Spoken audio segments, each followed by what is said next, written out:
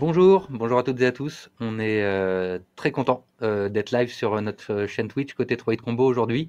Euh, ça aurait dû avoir lieu physiquement au champ libre, mais on est dans les bureaux. bienvenue dans les bureaux de 3 Combo. C'est une première aussi, on stream d'ici. L'association avait fait son assemblée générale une fois en, juin dernier, mais ce qui se passe là est un fait rarissime. Donc je suis Emeric, je suis un des membres de l'équipe salariée de, de l'assaut 3 Combo qui travaille à l'année sur l'assaut et le festival. Et aujourd'hui, ce qui va se passer, à savoir une critique de jeux vidéo euh, en direct sur Twitch avec un certain nombre d'intervenants qui vont être présentés tout à l'heure, va, démarrer sous peu. Et je suis en compagnie d'Hélène Audrin, des Champs Libres. Bonjour, euh, alors euh, bienvenue hein, à toutes et à tous. merci Émeric. Donc nous, on est effectivement très contents aussi d'avoir pu maintenir cette rencontre qui était prévue aujourd'hui même à la fois au Champ Libre et retransmise en live euh, sur euh, Twitch. Donc euh, cette rencontre devait avoir lieu dans le cadre d'un cycle de, rencontres, d'ateliers qui se déroulait sur trois jours sur le thème des catastrophes. D'où le choix du jeu aujourd'hui qui va vous être présenté. Donc voilà, avec nos partenaires 3hit, nous sommes vraiment très contents d'avoir pu maintenir cette rencontre pour le coup 100% en live. Ben oui, c'était déjà une expérience assez inédite. Le format sur lequel on était sollicité aurait dû se passer peut-être possiblement juste en auditorium. Nous, on est arrivé avec cette idée de, de Twitch. Alors, je fais un clin d'œil, euh, les, intervenants reparleront après, mais j'ai quand même envie de faire un clin d'œil à l'association Clair Obscur et au festival Travelling, parce que c'est dans le cadre de ce festival de cinéma qui se déroule tous les ans à Rennes euh, qu'avaient eu lieu les premiers Crit Twitch avec euh, la complicité, je lui fais aussi un clin d'œil de Mathieu Triclot, l'auteur de Philosophie des jeux vidéo, et d'Alexis Blanchet, qu'on va retrouver tout à l'heure, qui ont crit twitché déjà euh, de mémoire Battlefield 1, Alien Isolation et quelques autres jeux. Euh, les, années passées, et là, bah, c'est nous, Trois Combo, qui le faisons avec vous, les champs libres. Ça aurait été pour la première fois dans un format confortable mmh. d'une salle de spectacle, d'une salle d'exposition, avec le, des gens présents sur place au champ libre et en ligne. Et puis bon, bah, finalement, ça se passe comme ça, mais j'ai envie de dire, c'est. Euh, on est tous confinés, pandémie mondiale, mmh. on va parler d'un jeu avec des histoires de virus aussi, donc euh, en fait, tout va bien. C'est ça, tout va bien. Sachant que le, la thématique des catastrophes était choisie hein, bien avant, euh, voilà, ça fait déjà un an, donc bien avant ce qui nous arrive maintenant. Ouais. Et, et allez, petite, petite info de choses qui se passeront dans les temps à venir, cette thématique des catastrophes et cet événement se faisait aussi sur un 300e anniversaire euh, du grand incendie de Rennes, une catastrophe qui a eu lieu il y a bien longtemps dans notre ville. Et, euh, bientôt, nous, Troit, on va, on va mettre le feu dans Mindtest, euh, dans la ville de Rennes, dans Mindtest, hein, vous me suivez, pour de faux. voilà. Mais ça, ce sera pour plus tard. Suivez-nous sur nos réseaux. Toujours en partenariat avec le musée de Bretagne et les Champs Libres. Exactement. Donc voilà, vous suivez les réseaux des Champs Libres, de Troyes Trombeau, et vous devriez être tenu informé de, de, tout ça. Je crois qu'on a dit l'essentiel. Nous, on va, on va pas parler beaucoup plus que ça. On va passer la parole aux intervenants. Euh, donc, euh, Angelo Carreri qui sera modérateur et qui va vous présenter Alexis Blanchet, Maureen Lepers, Jean-Baptiste Massuet et en joueur zombie, en joueur de l'ombre, euh, mais quand même vivant, hein, Ril Miop. Angelo, est-ce que tu nous entends? Alors bonjour à tous, donc c'est Angelo Carreri le rédacteur en chef de la revue Immersion, revue sur le jeu vidéo, et je vais jouer le rôle un petit peu d'animateur euh, dans ce Critwitch. Donc euh, à l'origine, je, je je devais modérer euh, une table ronde. Je vais essayer d'adapter un petit peu l'exercice et donc surtout de me concentrer euh, un petit peu sur euh, sur le chat pour essayer de en fait récupérer les questions et relancer un petit peu nos trois intervenants sur vos questions.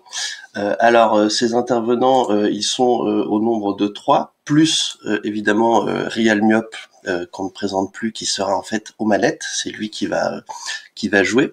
Euh, donc euh, Real Mioc du Nesblog, dont je suppose que beaucoup d'entre vous le connaissent déjà, qui a fait de nombreuses émissions de speedrun euh, et aussi de vulgarisation sur sur YouTube. Donc on est en communication avec lui. c'est lui qui va être un petit peu nos, notre nos mains pour explorer le, le début du jeu. Euh, ensuite, comme intervenant, nous avons euh, Alexis Blanchet, donc qui est euh, maître de conférence en sciences de l'information et de la communication à Paris 3, et qui a écrit donc très très récemment un ouvrage qui s'appelle Une histoire du jeu vidéo en France.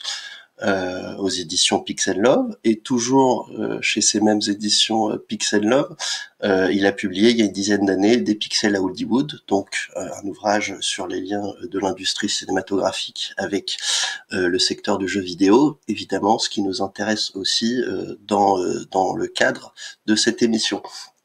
Alors ensuite, on va accueillir Jean-Baptiste Massuet, qui lui est maître de conférence en cinéma à l'université Rennes 2, euh, qui est euh, notamment spécialiste euh, du dessin animé, de l'image de synthèse, de la capture, de tout ce qui est motion capture. C'est un petit peu son, son, sur ça qui fait ses recherches. Et c'est aussi quelqu'un qui enseigne les liens entre cinéma et jeux vidéo à l'université, donc Rennes 2.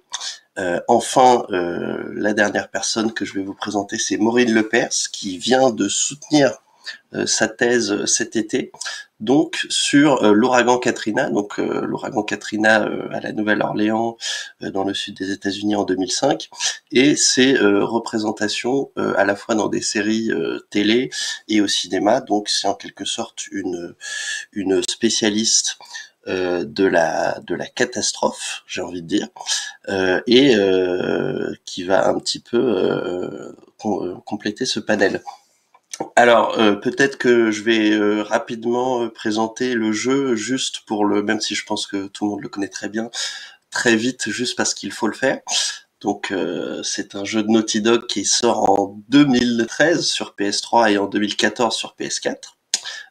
Qui a été dirigé notamment par Neil Druckmann au poste de directeur créatif et Bruce Straley, euh, game director, donc plutôt sur le gameplay, et qui s'est tout de même écoulé euh, à 20 millions de copies, donc un phénomène euh, très important en termes de vente, et qui a été bien entendu suivi de, de, deuxième épisode qui a eu beaucoup de, qui a beaucoup fait parler de lui ces derniers temps, mais je laisserai les intervenants d'ailleurs réagir sur ça. On a choisi de partir plutôt du premier épisode et de parler euh, du tout début de, cette saga. Voilà. Euh, alors, euh, du coup, je vais peut-être passer tout de suite la parole, par exemple, à, Maureen, et j'imagine que ce sera aussi Rial Miop le moment de peut-être aussi pas, pas forcément lancer le jeu parce qu'on voulait commenter le, le, menu, mais en tout cas de se tenir prêt. Et donc, euh, c'est une question qui s'adresse un peu à vous tous. C'est, euh, ben, en fait, euh, pourquoi est-ce que The Last of Us est intéressant pour aborder cette notion de catastrophe, euh, qui est le thème de cette euh, de cette euh, journée, de cet après-midi. Euh, et du coup, en quoi est-ce que c'est un point de départ et aussi en quoi, qu'est-ce qu'une catastrophe finalement? Comment définir un peu cette notion? Et je passe tout de suite le, relais à, à Brune. Oui, bonjour tout le monde. alors, qu'est-ce qu'une catastrophe? C'est une question très large et un peu et très dense pour ouvrir, mais je pense que très rapidement pour pas euh, rester trop trop longtemps sur la théorie, on peut en gros euh, évoquer euh, trois choses qui seraient intéressantes à dire. la première chose, c'est que catastrophe, historiquement, c'est un terme qui vient en fait de la littérature antique, du théâtre et de la poésie antique, et qui est plus ou moins, et en, allant très très vite, synonyme de dénouement. C'est un peu le dénouement, c'est la situation pathétique qui révèle la vérité à la fin de, à la fin des, des tragédies, euh, des tragédies euh, antiques. Euh, enfin, le terme va ensuite se, se, déplacer. On le connaît surtout aujourd'hui pour sa signification dans le cinéma hollywoodien avec les films catastrophes. dans les films hollywoodiens, la catastrophe, ça va être un événement en fait euh, perturbateur en général qui se situe au premier tiers du film, euh, qui ravage tout, qui détruit l'ordre social, euh, etc. et qui divise, qui scinde le film en fait en un avant, un pendant la catastrophe et un après. Et euh, ce serait la troisième chose à dire, et euh, à mon avis c'est particulièrement intéressant pour The Last of Us, puisqu'il y a un pendant la catastrophe au cinéma, ça veut dire qu'il y a des images de la catastrophe, ça veut dire qu'on représente cette catastrophe, bref qu'elle est euh, spectaculaire en somme, euh, dans les films catastrophes euh, du cinéma hollywoodien, c'est vraiment euh, le, un, un, point central. La grammaire cinématographique change, tout est détruit, etc. Le rythme du montage s'accélère, on change de bande son, etc., etc. Bref, c'est un moment de cinéma, c'est un moment de déploiement du, du, du, spectacle cinématographique qui est très important. Or, euh, cette dimension-là, spectaculaire de la catastrophe, elle pose particulièrement problème, euh, si j'ose dire, pour les catastrophes de la modernité, en gros depuis la Seconde Guerre mondiale et depuis la Shoah, puisque précisément ces catastrophes-là, elles échappent au regard. On ne sait pas les représenter, on ne sait pas représenter ce qu'elles ont été, euh, comment est-ce qu'elles se sont constituées, etc. Bref, c'est des catastrophes qui en quelque sorte deviennent invisibles ou elles échappent aux images. Euh, et c'est particulièrement intéressant pour euh, les pandémies, c'est le cas dans The Last of Us, puisque comment est-ce qu'on représente ça? Comment est-ce qu'on représente la diffusion, la propagation, la circulation d'un virus? Quelle trace on a de ça, etc. Donc je pense que c'est un peu de, de tout ça dont on va dont on va parler dans les prochaines heures. Et du coup, euh, qu'est-ce qui reste de la catastrophe finalement dans cet écran titre qui, euh, qui avait l'air de beaucoup inspirer Jean-Baptiste et Alexis, qui finalement nous montre une petite fenêtre avec de la lumière? comment est-ce que qu'est-ce que ça nous dit de, de cette notion? Euh, tu veux que je commence, Alexis Du coup, bonjour à tous, hein, merci d'être euh, présent avec nous pour, euh, pour cette Crit Twitch. Euh, oui, alors c'est cet écran titre, euh, enfin ce, ce, cet écran de, démarrage en fait du jeu, c'est un écran que qui m'a toujours marqué quand je quand j'ai commencé à, jouer au jeu la première fois. C'est un écran qui m'a tout de suite parlé et c'est pour ça que je trouvais intéressant de, démarrer un petit peu cette analyse du jeu autour de cette image euh, parce qu'elle elle témoigne en fait euh, quelque part d'un état du, du monde du monde de, du, jeu en question, de ce qui se passe dans le jeu, euh, c'est-à-dire ce monde post-catastrophe. Euh, et euh, effectivement, dans la configuration de cette image, hein, c'est ce que je trouve assez formidable, c'est ce dont on a beaucoup parlé hein, dans, dans, The Last of Us, c'était la direction artistique du jeu, hein, dont on va pouvoir profiter avec les, premières heures, enfin le début du jeu direction artistique qui met l'accent sur cette nature hein, qui a repris ses droits sur le monde, sur le, le monde de, des humains. Et euh, ce que je trouve très très beau dans cette image, c'est justement qu'elle montre ça, mais de manière très subtile, c'est-à-dire que on a cette espèce de, de mur et de fenêtre en ruine. On voit bien que euh, la vie humaine a passé, voilà, qu'elle n'est plus là, mais que malgré tout, euh, le monde continue à exister. C'est-à-dire qu'on a euh, comment un ciel ensoleillé, on a cette douce brise, c'est-à-dire il y a quelque chose qui euh, donne une sensation assez apaisante. Hein, c'est vraiment euh, quelque chose qui pourrait passer pour être apaisant, mais qui en fait montre plutôt quelque chose de tragique, c'est-à-dire quelque chose qui a disparu, mais qui continue malgré tout à exister.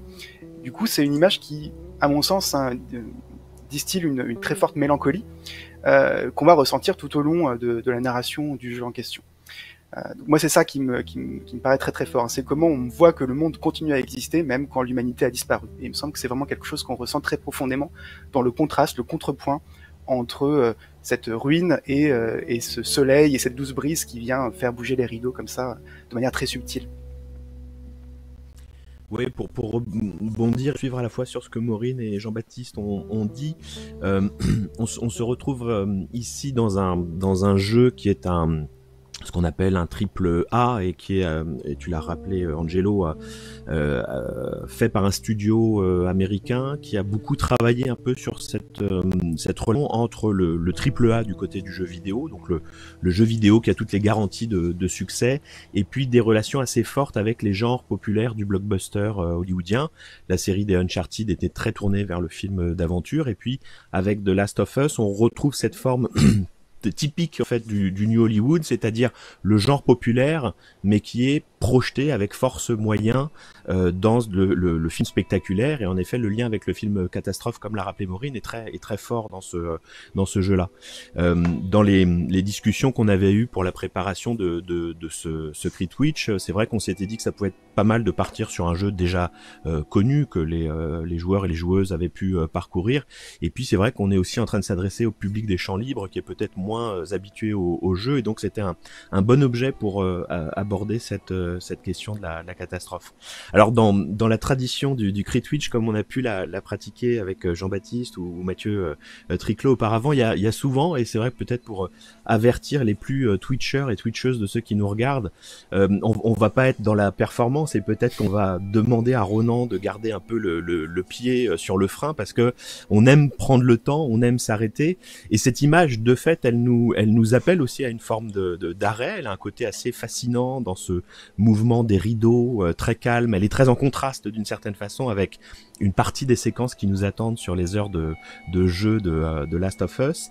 la question du contraste que, que rappelait Jean-Baptiste, bah, c'est précisément cette surexposition de la lumière du soleil par la, par la fenêtre, comme si on était ébloui par le, le monde extérieur et comme presque dans une dimension un peu proleptique, c'est-à-dire qui, qui va annoncer les événements. Voilà, on va, on va sortir d'un intérieur pour aller vers, vers l'extérieur. On va sortir de sa zone de sécurité pour euh, essayer d'aller explorer ce, monde d'après euh, d'après la catastrophe. Euh, c'est presque il y a presque une tradition hein, chez Naughty Dog parce que si vous vous rappelez euh, un jeu comme Uncharted 4 par exemple, euh, qui avait aussi donné dans le cadre d'un cri Twitch un petit temps un peu d'analyse. Là, le, même dispositif est repris, c'est-à-dire cette euh, invitation à, lancer le jeu, appuyer sur une touche pour le démarrer, avec une image presque sous la forme d'un diorama un peu animé, avec des mouvements assez lents. Et dans Uncharted 4, c'est une une cage avec un squelette qui porte un chapeau tricorne d'ailleurs, qui est légèrement balancé par le vent. Donc on retrouve un peu d'un jeu à l'autre aussi ce motif du vent qui anime doucement euh, l'image. Euh, et là qui était plutôt une forme de vanité, euh, puisque évidemment Uncharted c'est un jeu d'aventure sur la, la, possibilité d'acquérir des traits, etc. Donc c'est assez intéressant parce qu'on voit qu'il y a quand même une marque qui est celle d'un studio d'ailleurs plutôt qu'un créateur, et que ce, cet écran d'accueil qui, qui, prépare la, la, rentrée dans le, le jeu, bah voilà, ouvre toute une, une, une série d'interprétations euh, euh d'interprétations possibles. Le, monde continue, c'est-à-dire que c'est quand même animé derrière la, la fenêtre. Alors peut-être que la diffusion euh, sur Twitch euh, limite un petit peu les, les détails de la, de, de la haute définition, mais il y a un vol d'oiseaux, il y a quelques insectes, il y a presque quelques poussières qu'on pourrait croire aussi être des spores, euh, les fameux spores qui vont représenter un danger par la suite dans le jeu. Voilà, d'une certaine façon, c'est un peu euh, euh, The Last of Us in, a nutshell. Voilà, tout est à peu près, tout est à peu près là. Et puis évidemment, c'est l'invitation à, à y aller, c'est-à-dire dépasser la, la, course focale qui rend l'arrière-fond tout à fait flou pour pouvoir rentrer et aller voir de, de nos propres yeux. Oui, puis il y a aussi une interprétation qui est liée à la, à la fenêtre en elle-même, hein, qui est une invitation à rentrer dans le monde aussi. Hein. La, fenêtre est un cadre qui ouvre sur euh, l'histoire, enfin, ou pour, pour inverser la, la formule d'Alberti, hein, c'est plutôt le cadre qui est une fenêtre ouverte sur le monde et l'histoire à raconter. Là, pour le coup, c'est cette fenêtre qui nous invite, comme tu disais très bien, Alexis, à, à, rentrer dans, dans l'histoire, à rentrer dans le jeu. Fenêtre qui, on l'a vu, est un tout petit peu entrouverte, donc elle n'est pas fermée, et à la fois elle est brisée, et euh, c'est ces plantes hein, qui rentrent comme ça euh, au travers des, carreaux euh, montrent effectivement que y a cette prise de position, de, possession de la nature sur euh, le monde, et qu'on va devoir affronter effectivement pour se, libérer des, carcans de la société, puisque c'est aussi ça que le que le jeu raconte en quelque sorte. C'est la perte, la disparition d'un monde vers autre chose c'est une invitation à voir aussi euh, pour euh, conclure sur cet euh, écran d'accueil. La fenêtre, c'est un motif qui renvoie absolument au regard, donc à tous ces enjeux de spectacle qui sont liés, qui sont liés aux catastrophes en général. D'autant plus que là, et c'est important de le dire, on est déjà à la catastrophe d'une certaine façon. On convoque moins finalement le film catastrophe que le film post-apocalyptique. On est déjà vraiment dans l'après, donc la question Enfin, cet écran titre, c'est un écran d'anticipation aussi. C'est qu'est-ce qui va rester du monde après la catastrophe et comment est-ce que la catastrophe, en fait, elle se raconte à rebours. Comment est-ce qu'on la représente euh, finalement euh, euh, absente à elle-même, quoi, d'une certaine façon, pour jargonner bizarrement. Alors on a Game Over sur le, sur le chat qui demande si l'écran d'accueil se transforme à la fin du jeu dans la, de la même façon que dans le deuxième épisode. Moi personnellement je ne m'en souviens plus. Peut-être j'espère que je vous pose pas une colle. je crois pas. Il me semble pas. Hein. J'ai non. pas le souvenir de ça. Mais effectivement c'est une tradition le, un petit peu in medias res euh, qu'on a aussi dans God of War, dans un certain nombre de jeux qui essayent d'avoir un effet de, de seuil euh, où on est directement plongé dans la fiction, même si ici c'est pas vraiment la, première scène.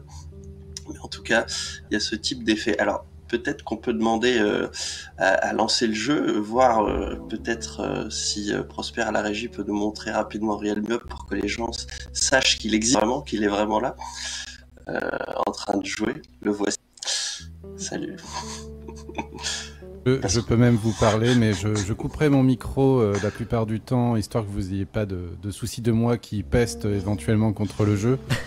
Euh, mais bonjour à tous. Euh, voilà, je, vais vous, je vais essayer de, rendre ça joli, si je peux. Et puis, et puis voilà, on, va, on, va, on peut démarrer quand, quand vous voulez. D'une certaine façon, presque le, le dispositif t'invite à, à, jouer de manière euh, élégante et le, le moins violent, violemment possible. Je, je, je vais faire une run euh, pacifiste de, de voilà. The Last of Us. Voilà. Par rapport au, au, public des champs libres, parce que bon, ben voilà, on ne sait pas qui est derrière l'écran, et mais en tout cas, le, on verra que le jeu te propose cette possibilité-là. Tout à fait, pas de souci. Je, je fais ça. Et dans le chat, on me dit qu'à la fin du jeu, le couteau d'Ellie s'ajoute à l'écran titre. Ah. Euh, euh, oui, c'est vrai par contre, ouais. je n'ai pas, pas, réagi tout à l'heure, mais oui, oui l'écran titre changerait, comme dans The Last of Us 2 aussi, où le changement de, de l'écran titre se ferait si on avait fini le jeu pour la première fois. Okay. Mais là, on est parti sur une nouvelle partie, donc euh, voilà. Je l'avais fait, mais sur PS3, et là, on est sur la version euh, PS4 Remastered, pour ceux qui ça intéresse. Voilà. Bah, c'est parti, je pense. Ouais. On va y aller. Alors, euh, en mode facile, euh, évidemment, pour éviter tout tout petit problème euh, de game over à répétition.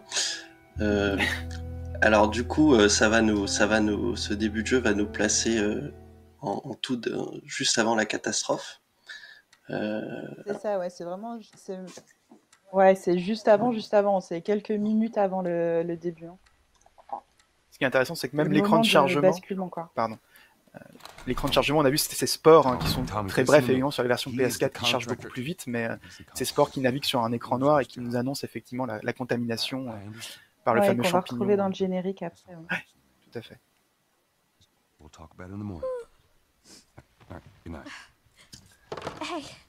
Un classique du jeu vidéo, c'est le réveil, et euh, il va, va, y en avoir plusieurs. Là, c'est le, le, premier de, de Sarah, donc la, la, fille du personnage principal. De Joël, se... de Joël. Ce qui, voilà. ce qui est intéressant, c'est que ça place directement le, le, les enjeux à venir dans la sphère euh, intime, paternelle, etc. Ce qui va être, euh, ce qui va être important en fait, cette espèce d'hybridation entre la catastrophe globale, voire la catastrophe euh, politique, etc., et une forme de catastrophe euh, plus individuelle, plus intime. Tout à fait. On a bien vu hein, que le jeu s'ouvre, et c'est pas du tout anodin, sur un gros plan. On, a, on commence directement sur un gros plan de d'adolescence. Voilà, de la jeune, de la jeune fille, euh, la fille du personnage principal, Joël, donc, euh, et qui tout de suite hein, met l'accent sur l'émotion, euh, puisque cette question du gros plan, on le sait pour ceux qui connaissent le jeu dans sa globalité, a une importance considérable dans, dans les interprétations qui ont été menées sur le, le jeu par la suite. Mais on va peut-être pas spoiler les, les choses. Ce qui est intéressant aussi, c'est qu'elle lui, c'est donc l'anniversaire du personnage principal de Joël et elle lui offre une montre. Oui. Euh, la catastrophe, c'est un événement perturbateur du temps euh, qui arrête en fait le temps linéaire. Euh, c'est ce que je disais tout à l'heure. Il y a cet avant, cet, ce pendant et cette après catastrophe. Et aussi dans l'après catastrophe, quand on a vécu la catastrophe et qu'on est donc traumatisé par la catastrophe, la catastrophe devient en fait un, une forme d'événement vers lequel on fait tout le temps retour. Mm. et donc c'est intéressant que jeu commence avec ça, avec cette montre. et le fait que la montre de Joël celle qu'il avait donc avant est cassée et qu'elle n'arrive pas à avancer. Ouais. Oui, qui annonce le traumatisme d'une certaine façon. C'est intéressant ce que, ce que tu soulèves ici parce qu'en plus on a bien vu que dans le cadre là, le, la pendule est omniprésente. Euh, mmh. Au début on la voit pas, elle est pas, elle est pas à l'écran et à un moment donné le personnage regarde, lève la tête pour regarder l'heure et là il y a un panoramique qui dévoile cette pendule qui après devient omniprésente dans le cadre et qui insiste sur ces, ces aiguilles qui passent, euh, qui euh, évidemment s'arrêteront, comme tu le dis, hein, effectivement au moment de, mmh. de, la catastrophe en quelque sorte, qui est comme un, un arrêt porté au monde. Exactement. Ce qui est d'autant plus inhabituel, j'ai envie de dire aussi, c'est que c'est un, un, personnage qu'on va jouer pendant quelques minutes, mais euh, qui n'est pas du tout euh, au centre de l'histoire, ou alors avec un statut plus fantomatique. Ça, ouais. euh, voilà, ça... ce qui est plutôt euh, inhabituel euh, dans, dans, le jeu vidéo. Ouais, ça pour moi c'était l'un des, des, des, grands coups de génie de ce, de ce jeu de Naughty Dog. Hein. C'est ce qui m'avait le plus plu en quelque sorte quand je l'avais essayé la première fois. C'est euh, cette prise de position que je trouve incroyable. C'est qu'on a souvent dit que Naughty Dog faisait des jeux qui étaient très proches du cinéma. Les Uncharted, on, on savait que c'était des jeux qui étaient très inspirés du blockbuster, euh, film d'aventure, etc. Euh, mais il me semble que ça va plus loin. C'est-à-dire que la grammaire cinématographique est pas forcément, elle est un peu exploitée dans les cinématiques, etc., mais elle n'est pas au centre en fait des, des réflexions de Naughty Dog. Je pense que la, euh, c'est pas tant la mise en scène cinématographique qu'une façon de penser la mise en scène par le jeu vidéo, par le gameplay, et comment faire passer des émotions par ça. Comment faire passer l'idée que le personnage de Joël, par exemple, est extrêmement attaché à sa fille. Et ça, on le fait pas passer par euh, la mise en scène type cinéma, on le fait passer par un, un, choix de gameplay, le choix de nous faire incarner cette jeune fille au début, ce qui fait que euh, Naughty Dog est bien conscient qu'en tant que joueur, quand on manipule un personnage à l'écran, on, on l'incarne et du même coup, on s'identifie à lui. Et du coup, cette identification fait que quand c'est un peu un spoiler, mais ça arrive dans, pas très longtemps, quand le personnage va disparaître et, effectivement laisser la place au personnage de Joël avec une ellipse temporelle qu'on va pouvoir voir, et que le personnage en fait décède et qu'on le perd en quelque sorte, et, et, bien on a cette émotion qui est une émotion de joueur effectivement qui perd un personnage et qui retranscrit l'émotion du personnage du père qui perd sa fille en quelque sorte. Et tout le jeu va fonctionner comme ça sur des choix de, de personnages à incarner qui vont témoigner en fait du point de vue du personnage masculin, du personnage de Joël en fait. Et ça, c'est extraordinaire, en fait. C'est-à-dire qu'on arrive vraiment à ressentir ce qu'il ressent, pas par, la, par une mise en scène type cinéma, par une mise en scène que je qualifierais de vidéoludique, pour le coup. Oui, puis le, le, le, le déplacement de, de, Sarah, là, euh, Ronan qui est manette en main, et on le voit dans l'animation du personnage. Donc, le personnage vient de se réveiller, un second réveil déjà, euh, et on va en avoir un, un troisième quelques années plus tard. Euh, on, on, a cette, ce déplacement assez lent de l'enfant qui vient de se réveiller, qui est encore un peu dans les, les brumes du, euh, du, rêve, et qui est déjà une, une démarche presque de zombie, quoi. On, on sent que c'est euh, que c'est dur, que ça avance avec difficulté, que c'est un peu saccadé. Alors, plus on avance dans cette maison, parce que là, on a un, level design qui nous permet de, passer un peu d'espace de, en, espace pour dévoiler cet espace euh, intérieur. Donc plusieurs événements vont se, se passer et qui sont scriptés dans la séquence et plus on avance plus le personnage devient plus souple et se réveille progressivement et son, déplacement est plus léger plus humain mais là aussi c'est annonciateur de l'avenir qui qui attend Sarah ouais. Ce qui est intéressant aussi avec ce, cette, euh, cette, ce, ce recours à l'espace domestique, intime, etc., dans cette euh, séquence d'ouverture, c'est que ça tient les personnages dans un espace qui est complètement clos, d'une certaine façon, et la catastrophe, on commence à le sentir dans les éléments euh, périphériques à la mise en scène, et à l'extérieur, on voit là, donc dans la fenêtre, l'explosion, on avait la télé avec les infos dans le dans le juste euh, juste avant et puis dans la salle de bain il y avait euh, ce euh, journal qui voilà commençait qui racontait que les explosions à l'hôpital enfin les explosions les admissions à l'hôpital explosaient etc etc ce qui est pas sans rappeler ce qu'on vit actuellement mmh. j'espère que ça tournera pas de la même façon Enfin bref, donc la Croft pour l'instant, elle est à l'extérieur. Donc l'enjeu en fait de cette première séquence, c'est aussi de comment est-ce qu'on va faire rentrer la catastrophe dans cet espace-là, ouais. d'une certaine façon, qui est euh, en, là, à, à l'instant T euh, du jeu, encore euh, préservé. Mmh. Oui, la, la, maison est vue comme un espace, un cocon en fait, un, un cocon lié à l'intimité, comme un, un, espace protecteur, mais dont on comprend bien qu'il va subir les, les coups de boutoir de, de, la catastrophe. est de plus en plus menacé. Ouais, tout à fait. Ça. Et ça, c'est un, enjeu important aussi. C'est comment est-ce que la catastrophe gagne sa place dans le cadre, d'une certaine mmh. façon. Pour l'instant, on voit qu'elle est tenue à l'extérieur par des écrans, par des vitres, etc. Et ce qui est intéressant, c'est ça arrive là dans les 30 secondes de jeu, c'est qu'elle va faire éruption précisément par une fenêtre. Hmm. On voit bien comment ça fait écho d'ailleurs à ce qu'on a vu dans l'écran titre en fait. Cet espace, cet espace mmh. intérieur, c'était la, la, fenêtre vue de l'intérieur de la maison avec ces plantes hein, qui pénètrent, qui montrent bien aussi cette menace extérieure qui euh, brise en fait euh, la frontière de l'espace intime. Euh, mmh. C'est quelque chose d'ailleurs qui, qui intéresse beaucoup Naughty Dog à partir de ce jeu, hein, puisqu'on sait que Uncharted 4 aussi euh, ne débute pas exactement par ça, mais a une séquence d'ouverture fabuleuse dans la maison de Nathan Drake où mmh. on, on explore cet espace euh, cet espace domestique euh, et où euh, les pièces en fait correspondent aussi à une, une peinture des personnages. On arrive à, à les saisir au travers du décor. Hein, c'est ce qu'on appelle la narration environnementale. Ça commence dès le début en fait. C'est que par le décor, on nous, on nous, fait comprendre un peu la psychologie des personnages, leurs relations, la manière dont ils vivent. Euh, et ça, c'est effectivement assez passionnant. Et on a bien vu qu'à plusieurs reprises, quand le personnage se déplaçait dans la maison, il y a plein de miroirs euh, qui permettent aussi de retranscrire ce, le visage, puisque évidemment on est dans un jeu à, en vue à la troisième personne, dont on voit, on voit principalement le personnage de dos. Et cette présence des miroirs fait qu'il y a cette identification possible aussi au personnage, hein, qui, qui, est essentielle pour, euh, pour l'empathie qu'on va pouvoir euh, avoir pour eux. Oui, sur, et sur le caractère d'irruption, moi je suis assez frappé par tous les détails euh, qu'on voit dans la chambre de Sarah, puis qu'on retrouve dans la chambre de, de Joël, euh, du linge au sol, toute une série de choses. Enfin, le, le monde est, est, est, en cours dans une quotidienneté tout à fait classique. Et voilà, là on, vient d'avoir le moment d'irruption. Bah, C'est Joël qui rentre dans, dans, cette, dans cette salle, mais on sent vraiment que la, la catastrophe euh, voilà, surprend le monde tel qu'il est et que d'un coup le monde est, arrêté, il n'est pas. Euh, il va basculer en fait. Il va basculer. Et puis avec ce, je pense cette caractéristique assez propre euh, des films d'horreur et des films catastrophes de, de ces 20-25 dernières années, enfin même depuis euh, finalement la nuit des morts vivants, c'est-à-dire le, le rôle des médias aussi pour euh, mm. faire subvenir la, la, la, enfin ou commenter la, la catastrophe. On le, on l'a retrouvé à travers l'écran de télévision dans la chambre de Joël et puis il va euh, arriver un tout petit peu après dans le, le générique du, euh, du jeu. Ouais.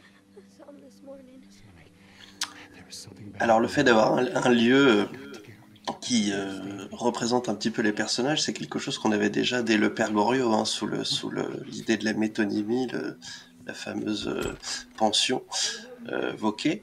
Euh, et du coup, ça rejoint aussi ce que disait Caracol le troubadour dans le chat, qui parlait aussi de... alors c'était une, remarque assez longue, j'essaye de la résumer.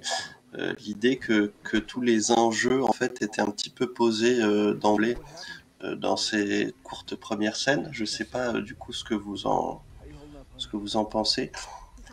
Si, d'une certaine, et, enfin, euh, complètement. Ça, la, séquence euh, là d'ouverture, qui est presque un pré-générique, elle a en fait la, fonction de seuil qu'on évoquait euh, en parlant de l'écran d'accueil là tout à l'heure, et puis elle ressemble aussi, enfin, ça ressemble aussi en termes de, de comment, de mise en place des enjeux au générique des séries télévisées ou ou même aux séquences pré-génériques des, des, séries. Tout est dit en fait en 10 minutes, euh, même pas d'une certaine façon. Et l'intégralité du jeu ensuite, euh, c'est de euh, déplier ce récit qui a été raconté de façon condensée en, en très peu de temps. En fait, euh, pour rebondir là-dessus, on voit aussi dans quelle mesure ce début fait écho, et j'y pense là en fait en, voyant, en revoyant la séquence dans la voiture, ça fait vraiment écho au, au film euh, La guerre des mondes de Steven Spielberg. Oui, pour moi c'est la référence euh, principale du Complètement, hein, on est vraiment là-dedans, mmh. on est dans la manière de voir la fin du, une fin du monde au travers des yeux d'une famille en fait, donc à partir de l'intime, à partir du, du, point de vue interne en fait, d'une ouais. situation familiale ce serait la référence en fait de la séquence d'ouverture des 15 premières ouais. minutes en fait du jeu parce que après on est plus dans une variation type la route en fait enfin l'adaptation de par euh, oui. John Hillcoat il me semble de, du roman de McCarthy avec ce voilà cette espèce de road trip à travers les États-Unis en ruine etc tout le tout le truc de la relation paternelle euh, qui va se créer avec le personnage qui se substitue en fait à la fille de Joël avec euh, avec Ellie mais le début euh, effectivement on est en plein dans euh, et même Joël, hein, c'est un homme action euh, comme seul Tom Cruise sait les, in les incarner euh, ouais. Euh, pour le cinéma américain.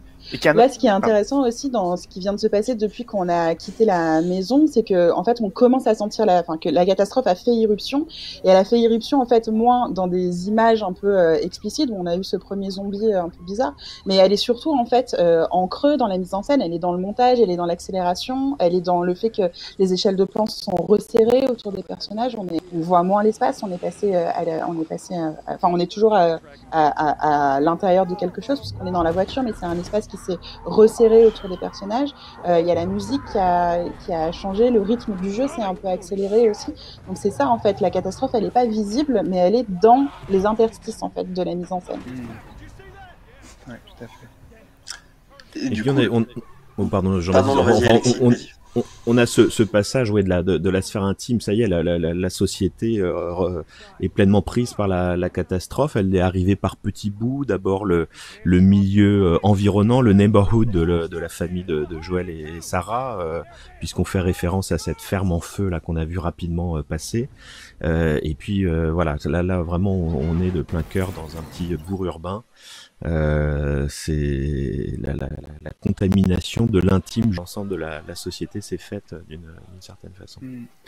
Puis même en termes de référence, je crois que Druckmann l'avait un peu évoqué à l'époque, mais on ressent aussi l'influence du film de Quaron, Les Fils de l'Homme, notamment dans cette séquence dans mmh. la voiture, qui a fait beaucoup parler d'elle au moment de la sortie du film, euh, qui en fait avait le, prenait le parti de nous impliquer dans la voiture, c'est-à-dire de nous mettre dans la voiture et de nous faire vivre en fait la catastrophe de l'intérieur en quelque sorte, euh, comme pour nous mettre dans cette position en disant mais si c'était nous, qu'est-ce qui nous arriverait? Et de pas avoir cette espèce de vision d'ensemble qui permet d'avoir le recul sur la situation, mais de nous impliquer en fait immédiatement pour le coup littéralement dans l'action euh, et ce qui nous met à un niveau d'égalité avec les personnages qui sont pas des surhommes en fait. Hein, c'est c'est aussi ça que je trouve très beau dans ce jeu, c'est que oui certes tu vois c'est un homme action, mais c'est un, un, homme de la vie de tous les jours en fait. C'est quelqu'un qui euh, enfin, il a quand même Alors, mais parce qu'après, il y a, y, a, y, a y a 20 ans qui se passent, où il va apprendre à survivre, mais... etc. Mais au début, c'est un père de famille, etc., mais qui veut juste protéger sa fille, en fait. Et concrètement, toutes ses actions mènent à ça. Et c'est d'ailleurs aussi pour ça que cette séquence, elle, euh, elle annonce tout ce qui va se passer par la suite. C'est concrètement l'attitude de Joël ici, qui passe du, du père bienveillant, gentil, blagueur au tout début du jeu, passe d'un seul coup en, en personnage qui, euh, qui se met en machine à protéger sa fille, euh, contre vents et marées, et euh, au point d'aller tuer quelqu'un, vous voyez, avec, euh, au début, hein, avec son arme, euh, donc il devient dangereux pour protéger la personne qu'il aime. Et c'est quelque chose qui va se répercuter par la suite dans, dans l'écriture du personnage. Alors là, c'est sans doute l'une des scènes qui, à mes yeux, évoque le plus le, le, le cinéma, peut-être, par rapport au, au reste du, du, jeu, où des mécaniques beaucoup plus propres au médium vidéoludique, narratif vont se mettre en place. Et ici, on est, on est euh, vraiment dans, quelque, dans le grand film catastrophe. Et je voulais vous faire rebondir un petit peu sur, euh, sur ça, tandis que Ronan s'intéresse plutôt euh, à ah. un petit bug, voilà, là, qui, qui se... il a provoqué quelque, il a provoqué la confrontation. C'est pas exactement ça. En fait, je vous montre que dans cette séquence, même ouais. s'il y a beaucoup, beaucoup d'actions et qu'on nous incite beaucoup à faire certaines choses, le jeu, ne, on ne risque rien en fait.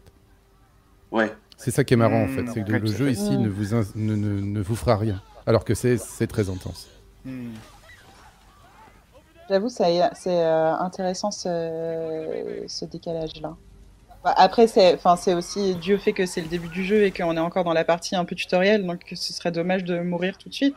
Mais euh, ça renvoie aussi, enfin, on peut. Moi, je suis assez d'accord sur le fait que, enfin, je ne sais pas si je suis d'accord sur le fait que Joël est vraiment un homme de tous les jours. Pour moi, il, il est installé comme étant exceptionnel, ne serait-ce que parce qu'il a l'air de faire 1m80 et 90 kg de muscles, oui. y compris quand il a 60 ans, euh, 20 ans plus tard. Bon, si, si vraiment donc, on flemme un peu, on peut mourir. Hein. oui, on peut mourir, c'est vrai. C'est vrai.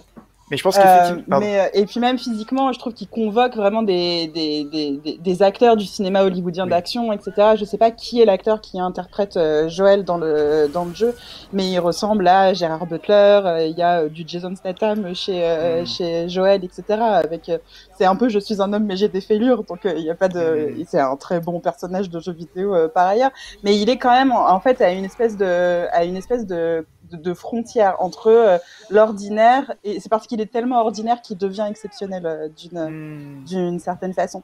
Euh, après donc pour revenir là sur cette séquence du jeu où effectivement le, le, le c'est très intense etc. Il peut on, on, peut se balader, mais malgré tout on peut se balader et, et on n'est pas on n'est pas tellement euh, en danger. Pour moi, ça raconte bien ça, en fait, d'une certaine façon, ce caractère de Joël ambigu entre euh, l'ordinarité et, et, et, euh, et, euh, et l'exceptionnel. On peut, il se passe quelque chose d'exceptionnel autour. Euh, on est dans cette action-là, mais parce que euh, Joël est le héros, il ne lui arrivera rien dans cette séquence. Mmh. C'est vrai, ça, mais ça permet aussi d'un autre côté d'accentuer ce qui va suivre dans la narration. C'est-à-dire que s'il oui. y avait trop de moments où on mourait au début, ça enlèverait complètement l'impact qu'a la séquence la charnière. Suite, ouais. ouais. Mais par contre, ouais, je suis tout à fait d'accord avec ce que tu avances sur le personnage. Hein.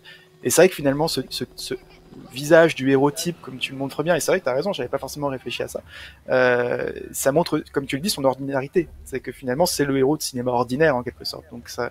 Parce que même Tom Cruise dans La Guerre des Mondes, moi au début, j'étais pas du tout convaincu. Je disais, c'est n'importe quoi, c'est censé être un personnage de, voilà, que je disais de la vie de tous les jours, et c'est Tom Cruise, donc on n'y croit pas une seconde. Mais à la fois, c'est, il est présenté comme un working class. Euh, ouais, ouais. ouais c'est assez, intéressant pour le coup. Ça. Alors, tandis que Rilmiop euh, enchaîne quelques game over,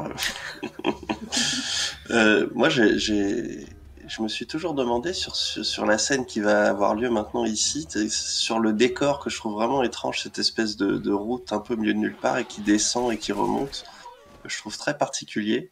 On en garde un souvenir. Euh, et en même temps, on est complètement sorti de la ville. Je ne sais pas si vous avez des, des réflexions sur ce point. Ah, on sait que la ville, c'est un petit peu euh, la. Encore une fois, c'était le, cocon, c'est la vie de tous les jours, et d'un seul coup, on se retrouve, comme on se retrouve au bout de la ville, c'est comme si on était au bout du monde en quelque sorte, comme si c'était le bout de la route et qu'il y avait plus d'issue en quelque sorte, hein, avec cette euh, ce décor voilà qui est complètement sombre à l'arrière-plan où il n'y a pas de ligne d'horizon, on a des barrières, on les voit à l'arrière-plan, les barrières qui montrent que l'horizon est bouché et que finalement il n'y a pas d'échappatoire en quelque sorte. Mm. Il y, a une charge politique déjà très très forte hein, qu'on va retrouver dans la, suite, c'est-à-dire que la catastrophe, euh, ça amène aussi à un autoritarisme. Euh, qui se qui s'affirme puisqu'ici un, un militaire euh, euh, a les ordres de tuer les civils qui lui font euh, qui lui font face hein, et ce qui va euh, euh, aboutir au, au décès de, de, de, la fille de, de Joël de, de, Sarah. Donc le, le et on, on, va le retrouver développer hein, la la référence au, au fils de l'homme que, que soulignait Jean-Baptiste. C'est oui en effet là cette séquence de, de voiture. Et puis on va la la retrouver un peu après mais aussi dans ce cadre hein, la catastrophe ça appelle. C'est là aussi l'écho est assez fort avec la la, situation actuelle, euh, des dérives euh, autoritaires euh, au, motif de gérer la, catastrophe, de gérer la...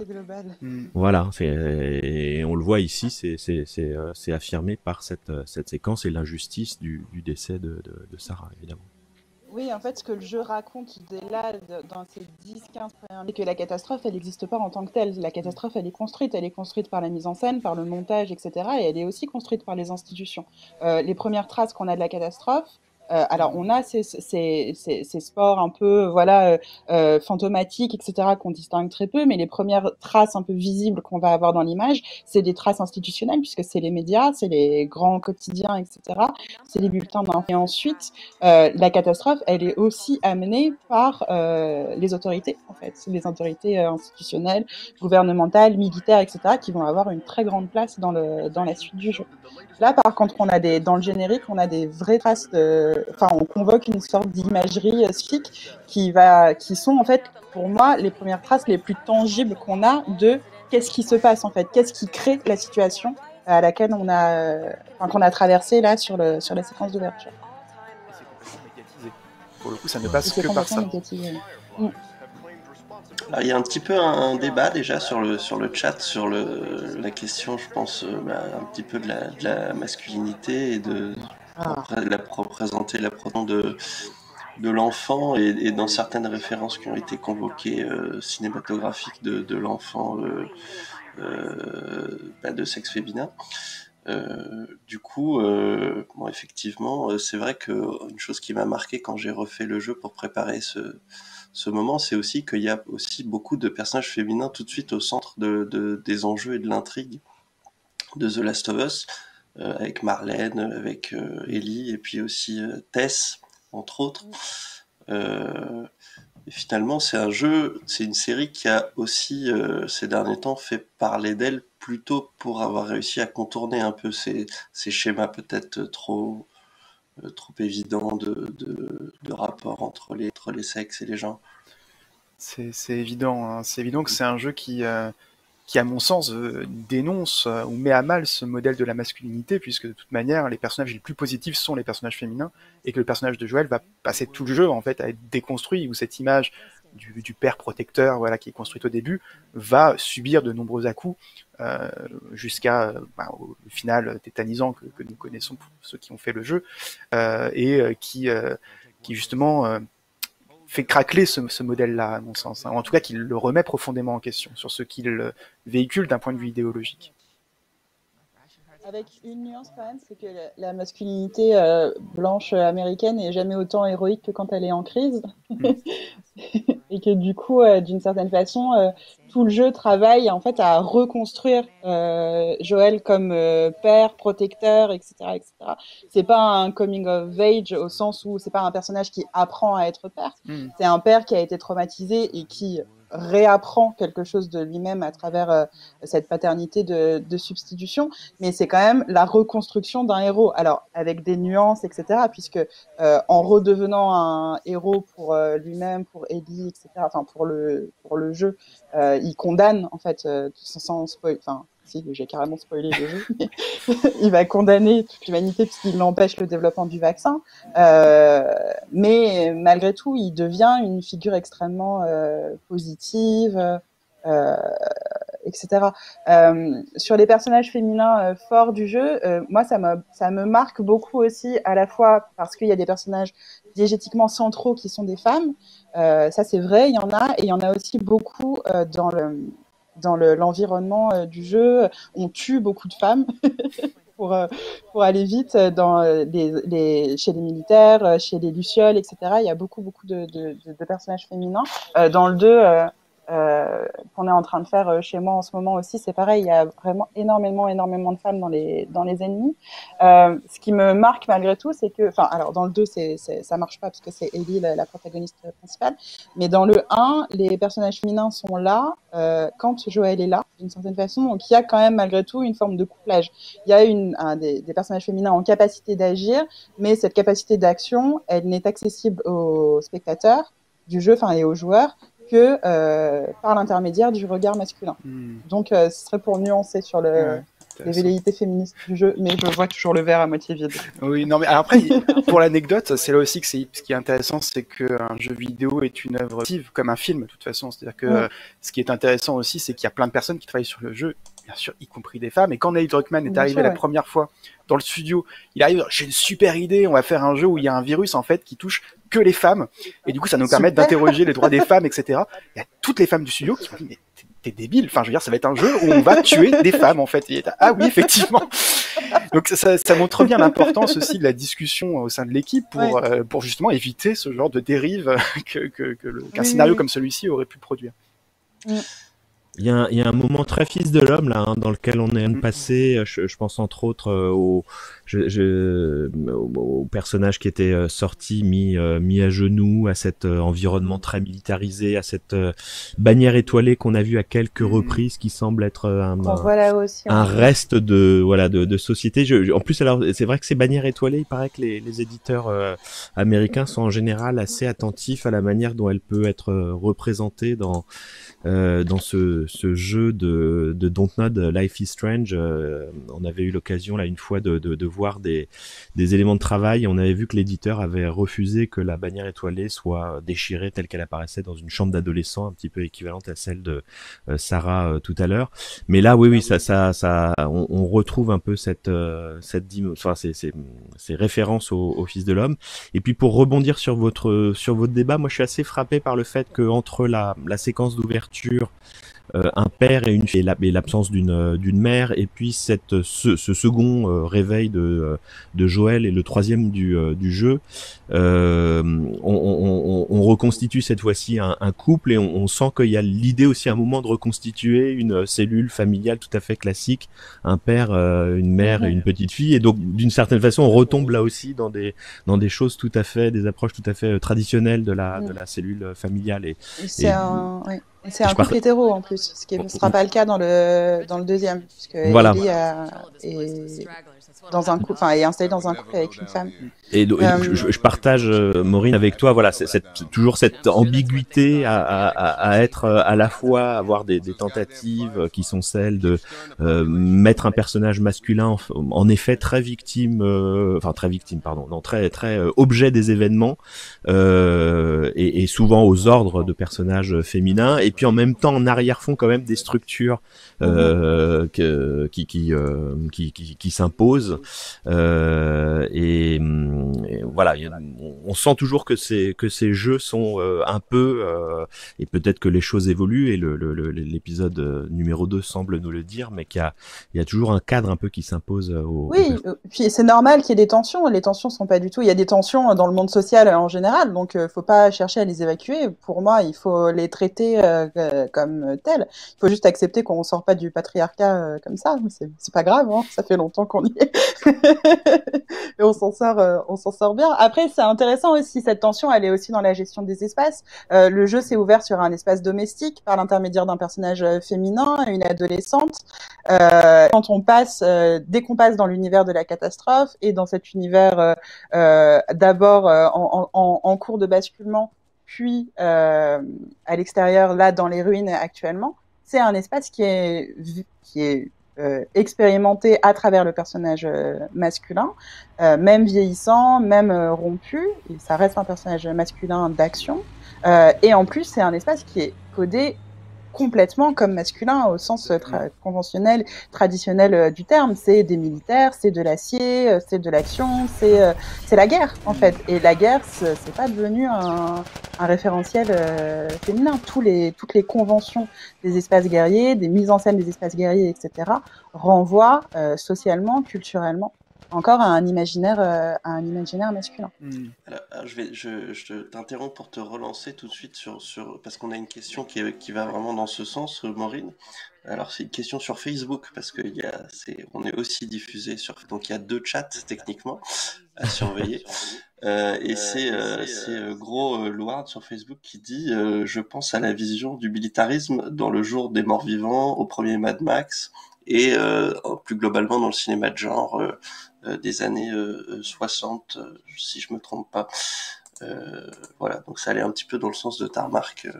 Oui, c'est ça. En fait, ce sont culturellement des, des, imaginaires qui sont masculins. Ce qui est intéressant, c'est que historiquement, quand on essaye un peu de féminiser ces espaces, alors bon, ça fait appel à toute une sorte de binarisme de genre, etc on pourrait considérer comme étant euh, épistémologiquement problématique, mais euh, restons dans le binarisme là pour ça, ça simplifier les termes du les termes du débat. Ce qui est intéressant, c'est que quand le cinéma euh, hollywoodien de ces époques-là va essayer de faire d'être un peu progressiste, etc., il va en fait se contenter de mettre des femmes dans les mêmes univers que les hommes. Euh, et euh, c'est tous les travaux de Raphaël Moine, par exemple, qui montrent qu'en fait, ces femmes, elles deviennent des hommes comme les autres, d'une certaine façon. Et c'est intéressant, euh, c'est exactement le cas de Tess, d'une certaine façon, qui est un personnage féminin, mais entre Joël et elle, il n'y a pas de différence, en fait de comportement, d'attitude, euh, d'accent, etc., etc. Alors, on peut dire que ça veut dire que ontologiquement, euh, le, genre est une construction sociale, et etc., etc. Il n'y a pas de différence fondamentale, machin, blabla. Euh, oui, euh, mais force est de constater que si on, quand on essaye de, de, de, de, mettre des femmes, en fait, on, on en fait des hommes d'une certaine façon. Je ne sais pas si je suis très claire, mais vous voyez qu'il y a, il y, a, il y a toujours en fait cette idée que les personnages féminins, elles arrivent dans ces espaces en adoptant, en copiant finalement des attitudes qui sont codées comme masculines. Euh, dans le dernier Mad Max, par exemple, c'est c'est ultra euh, fort. Euh, Furiosa, c'est euh, Mad Max, euh, mais avec la tête rasée et, et, une poitrine bandée. Mais c'est Mad Max d'une certaine façon. C'est Max. Euh, alors, il y avait aussi, euh, je crois, Canonique dans le chat qui parlait d'une. Euh, c'était il y a un moment sa question, mais c'était intéressant. C'était d'une intro alternative qui aurait été écartée. Je ne sais pas si vous étiez au, courant. Apparemment, elle est probablement peut-être pas en ligne, mais en tout cas disponible indirectement par une interview ou par quelque chose. Moi, je n'étais pas du tout au, au courant personnellement. Ouais, je sais, je sais pas non plus. Alors peut-être que comme il se passe déjà pas mal de choses, je vais peut-être très rapidement pour ceux qui nous rejoignent résumer ce qui se passe dans l'histoire, dans ce qu'on est en train de regarder. Donc il y a euh, une ellipse euh, assez longue après la mort euh, de la fille de Joël et on le retrouve donc à Boston. Il fait partie avec Tess, avec qui il semble avoir une relation plus ou moins proche.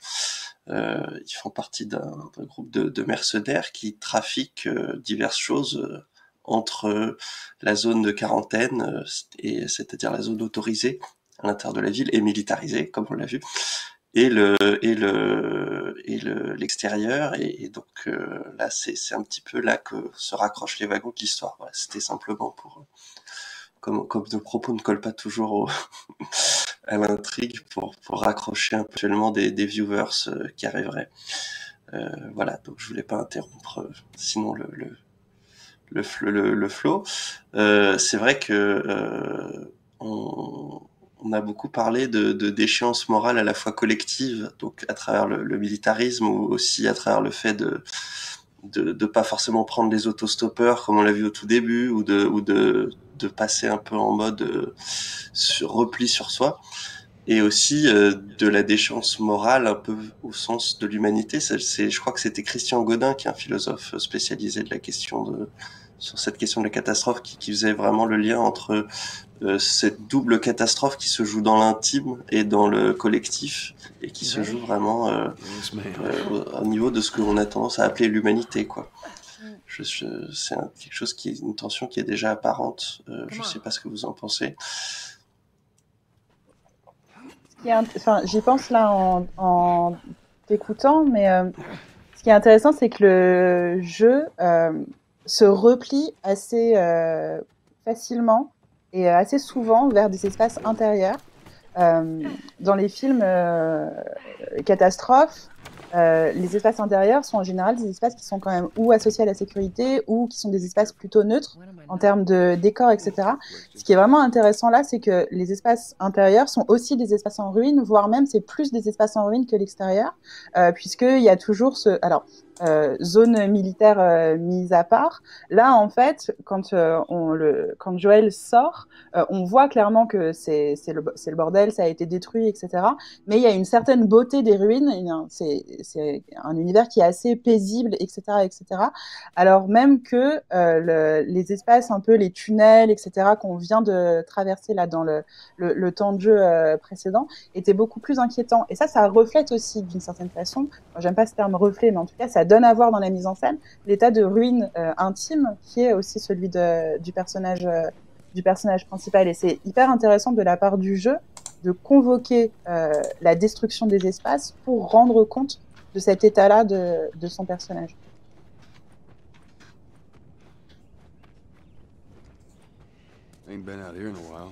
Et donc on a la nature, le grand, une des premières choses dont, dont Jean-Baptiste Massuet a, a, parlé lors de ce cri Twitch je pense que c'est quand même la première scène où véritablement euh, on rentre dans ce rythme qui va être toujours des moments euh, d'action et un petit peu d'angoisse ou de déprime et d'autres moments beaucoup plus euh, contemplatifs et, et, agréables. Et ça va, c'est un peu la marque de fabrique aussi du rythme de cette série.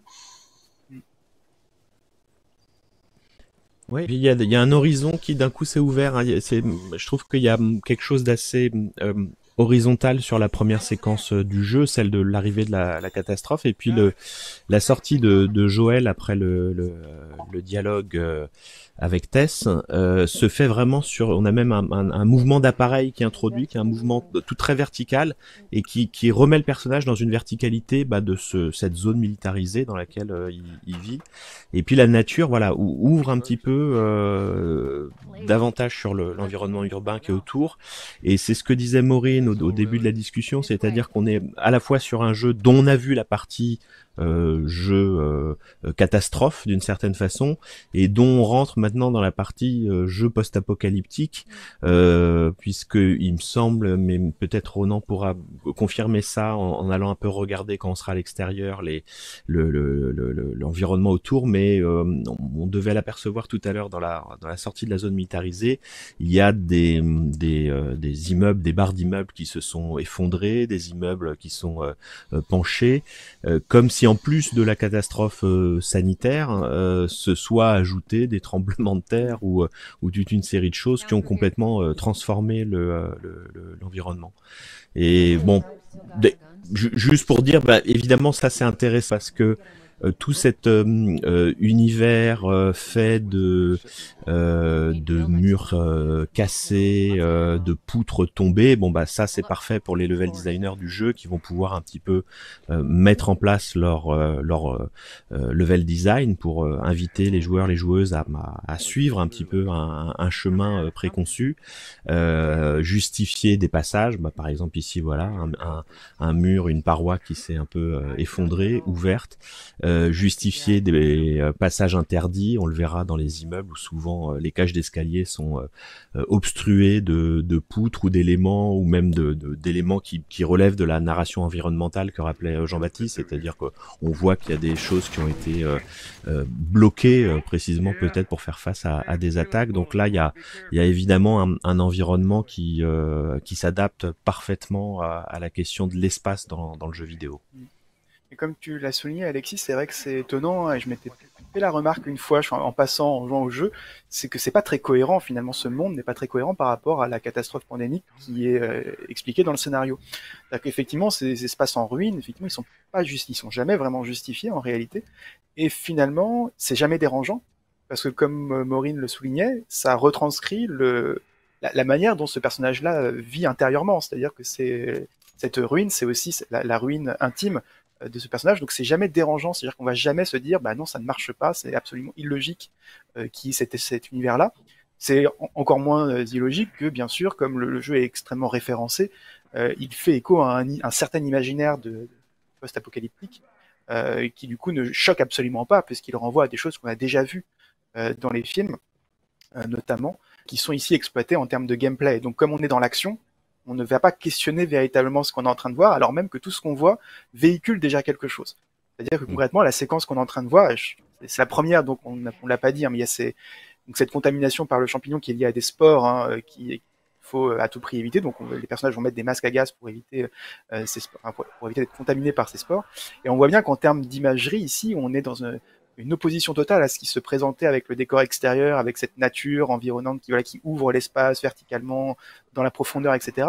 Où là, pour le coup, on en revient à une distance d'affichage extrêmement faible, avec ces, ces, ces, sports qui constituent une forme de, de brouillard euh, qui vient euh, retranscrire une forme de, de, de vision anxiogène. Hein. Là, c'est des, des, moments dans le jeu qui sont extrêmement angoissants euh, et qui incitent effectivement à entendre plus qu'à voir. On il y a une fonctionnalité hein, qui permet d'entendre euh, les, les, personnages, donc de les situer dans l'espace euh, plutôt que, de les voir.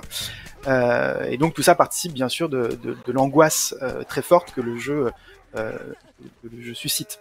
Euh, au-delà, donc c'est ça qui est intéressant, c'est que dès qu'on va ressortir dans les extérieurs, il y a une sorte d'apaisement qui arrive alors même que le monde n'a pas changé et que le monde il est tout aussi dangereux, mais finalement ces espaces ouverts sont beaucoup plus rassurants en quelque sorte et ça crée une forme d'acceptabilité de cette euh, de ce monde d'après en quelque sorte. Il y a un truc un peu un peu étonnant que les personnages essayent d'apprendre à vivre dans ce monde au-delà de euh, de la dimension militariste qu'on a qu'on a évoqué tout à l'heure.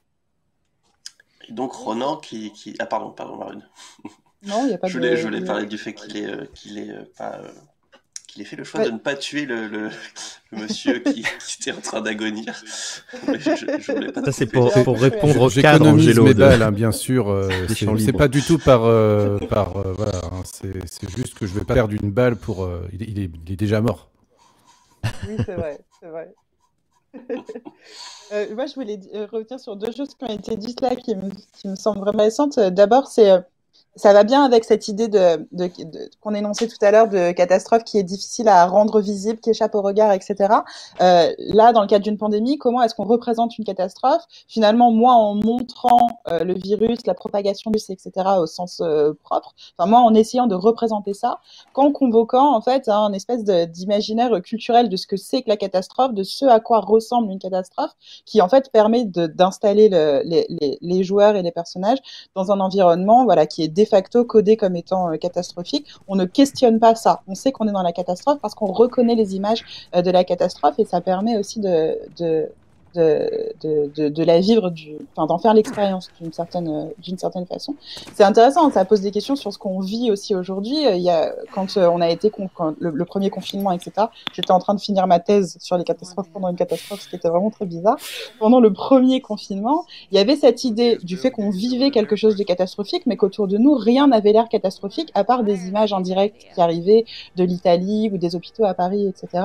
Mais sinon, la catastrophe était d'une banalité euh, à mourir euh, d'ennui et on sauvait le monde en restant euh, chez soi si on avait la chance de pouvoir euh, de pouvoir rester chez soi. Donc on était déstabilisé par ça, par le manque d'images en fait catastrophiques qui nous permettait vraiment de comprendre ce qui se passait. Euh, et la deuxième chose que je voulais dire, c'est sur la nature de ces espaces en ruine. Euh, je suis pas complètement d'accord sur le fait que c'est incohérent, puisqu'on a quand même vu euh, là tout à l'heure qu'on est dans un dans une dans, dans, dans, dans, un espace qui est ultra militarisé. Ce que disent ces espaces aussi, c'est qu'il y a eu la guerre d'une certaine façon mmh. euh, et que euh, la catastrophe, c'est aussi ça. C'est euh, aussi euh, des débordements militaires, c'est aussi l'autoritarisme, c'est aussi euh, des fronts enfin en tout cas la convocation d'une rhétorique et d'un imaginaire qui est lié euh, à la guerre pour euh, maintenir l'ordre social ou rétablir l'ordre social, etc. Ça, c'est très présent dans ce qu'on vit euh, actuellement aujourd'hui, euh, où euh, on avait quand même, on a eu des images de militaires, on a eu des images de tanks, on a parlé de front, de soignants qui partaient au front, etc., etc. Donc ça me semble euh, important de le préciser quand même. Mmh, oui, tout à fait. Je, je, fais un tout petit retour en arrière parce que quand même cette séquence des salles euh, pleines de, de sport là pendant que Ronan fait monter la, la plan passer de l'autre côté, euh, c'est assez intéressant là ce que ça produit. On, on, voit que les ennemis sont des espèces de, d'ombre assez indiscernable et on voit que ça travaille euh, un peu les deux tensions du, du film horrifique, c'est-à-dire la, la suggestion d'un côté, la monstration de, de, de l'autre et on, on, rentre un petit peu dans, dans l'horreur face à ces infectés. Alors c'est euh, là on, on, rentre un peu dans les catégories des spécialistes du, du film horrifique entre euh, zombies infectés, euh, créatures comme ça monstrueuses et, et là c'est vrai qu'on a un, un, un premier sas qui est celui d'une sorte d'indétermination bah, qui rend évidemment l'angoisse, comme le disait Jean-Baptiste, plus euh, plus forte, euh, pour probablement garder encore un effet un peu plus tard qui va être vraiment le, le surgissement d'un de ces infectés, avec euh, un, un, effet visuel assez marquant là de cette contamination par le, le champignon. Mais je trouve voilà que cette cette zone de, de, sport est pleine de sport, de champignons assez intéressante par rapport à ça, pour pouvoir jouer sur ces deux tableaux du sentiment horrifique à l'écran. Alors, il y a une question qui s'adresse spécifiquement à Maureen sur, sur Facebook, euh, toujours Grolward, qui dit euh, euh, Vous parliez tout à l'heure de la construction des rôles féminins sur des principes de personnages masculins. Est-ce comparable au rôle féminin dans le cinéma de genre euh, Rape and Revenge, qui revient en général à dire euh, J'explique ce que tu devrais faire en tant que femme pour le réalisateur enfin, je... Euh, oui, alors on va pas être trop. Enfin, on pourrait parler du rape and revenge pendant euh, pendant le séminaire, je pense, voire deux, voire trois, voire toute une thèse. Euh, oui, en fait, il y, y, y, aurait des ponts à faire. Ne serait-ce que parce que dans le Rape and Revenge, l'agency, la capacité d'agir des personnages féminins, elle est déclenchée par un traumatisme qui est en général causé par un homme, puisque c'est un viol. Euh, donc il y a cette idée que si, le, si la femme n'est pas violée, elle reste euh, inactive.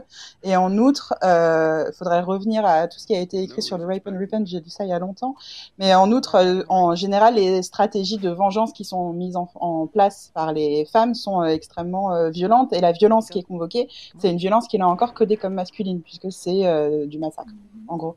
Euh, donc, non pas que les, les, hommes aient le privilège de massacrer, tout le monde peut massacrer euh, tout le monde, et le mieux serait encore que personne ne massacre personne.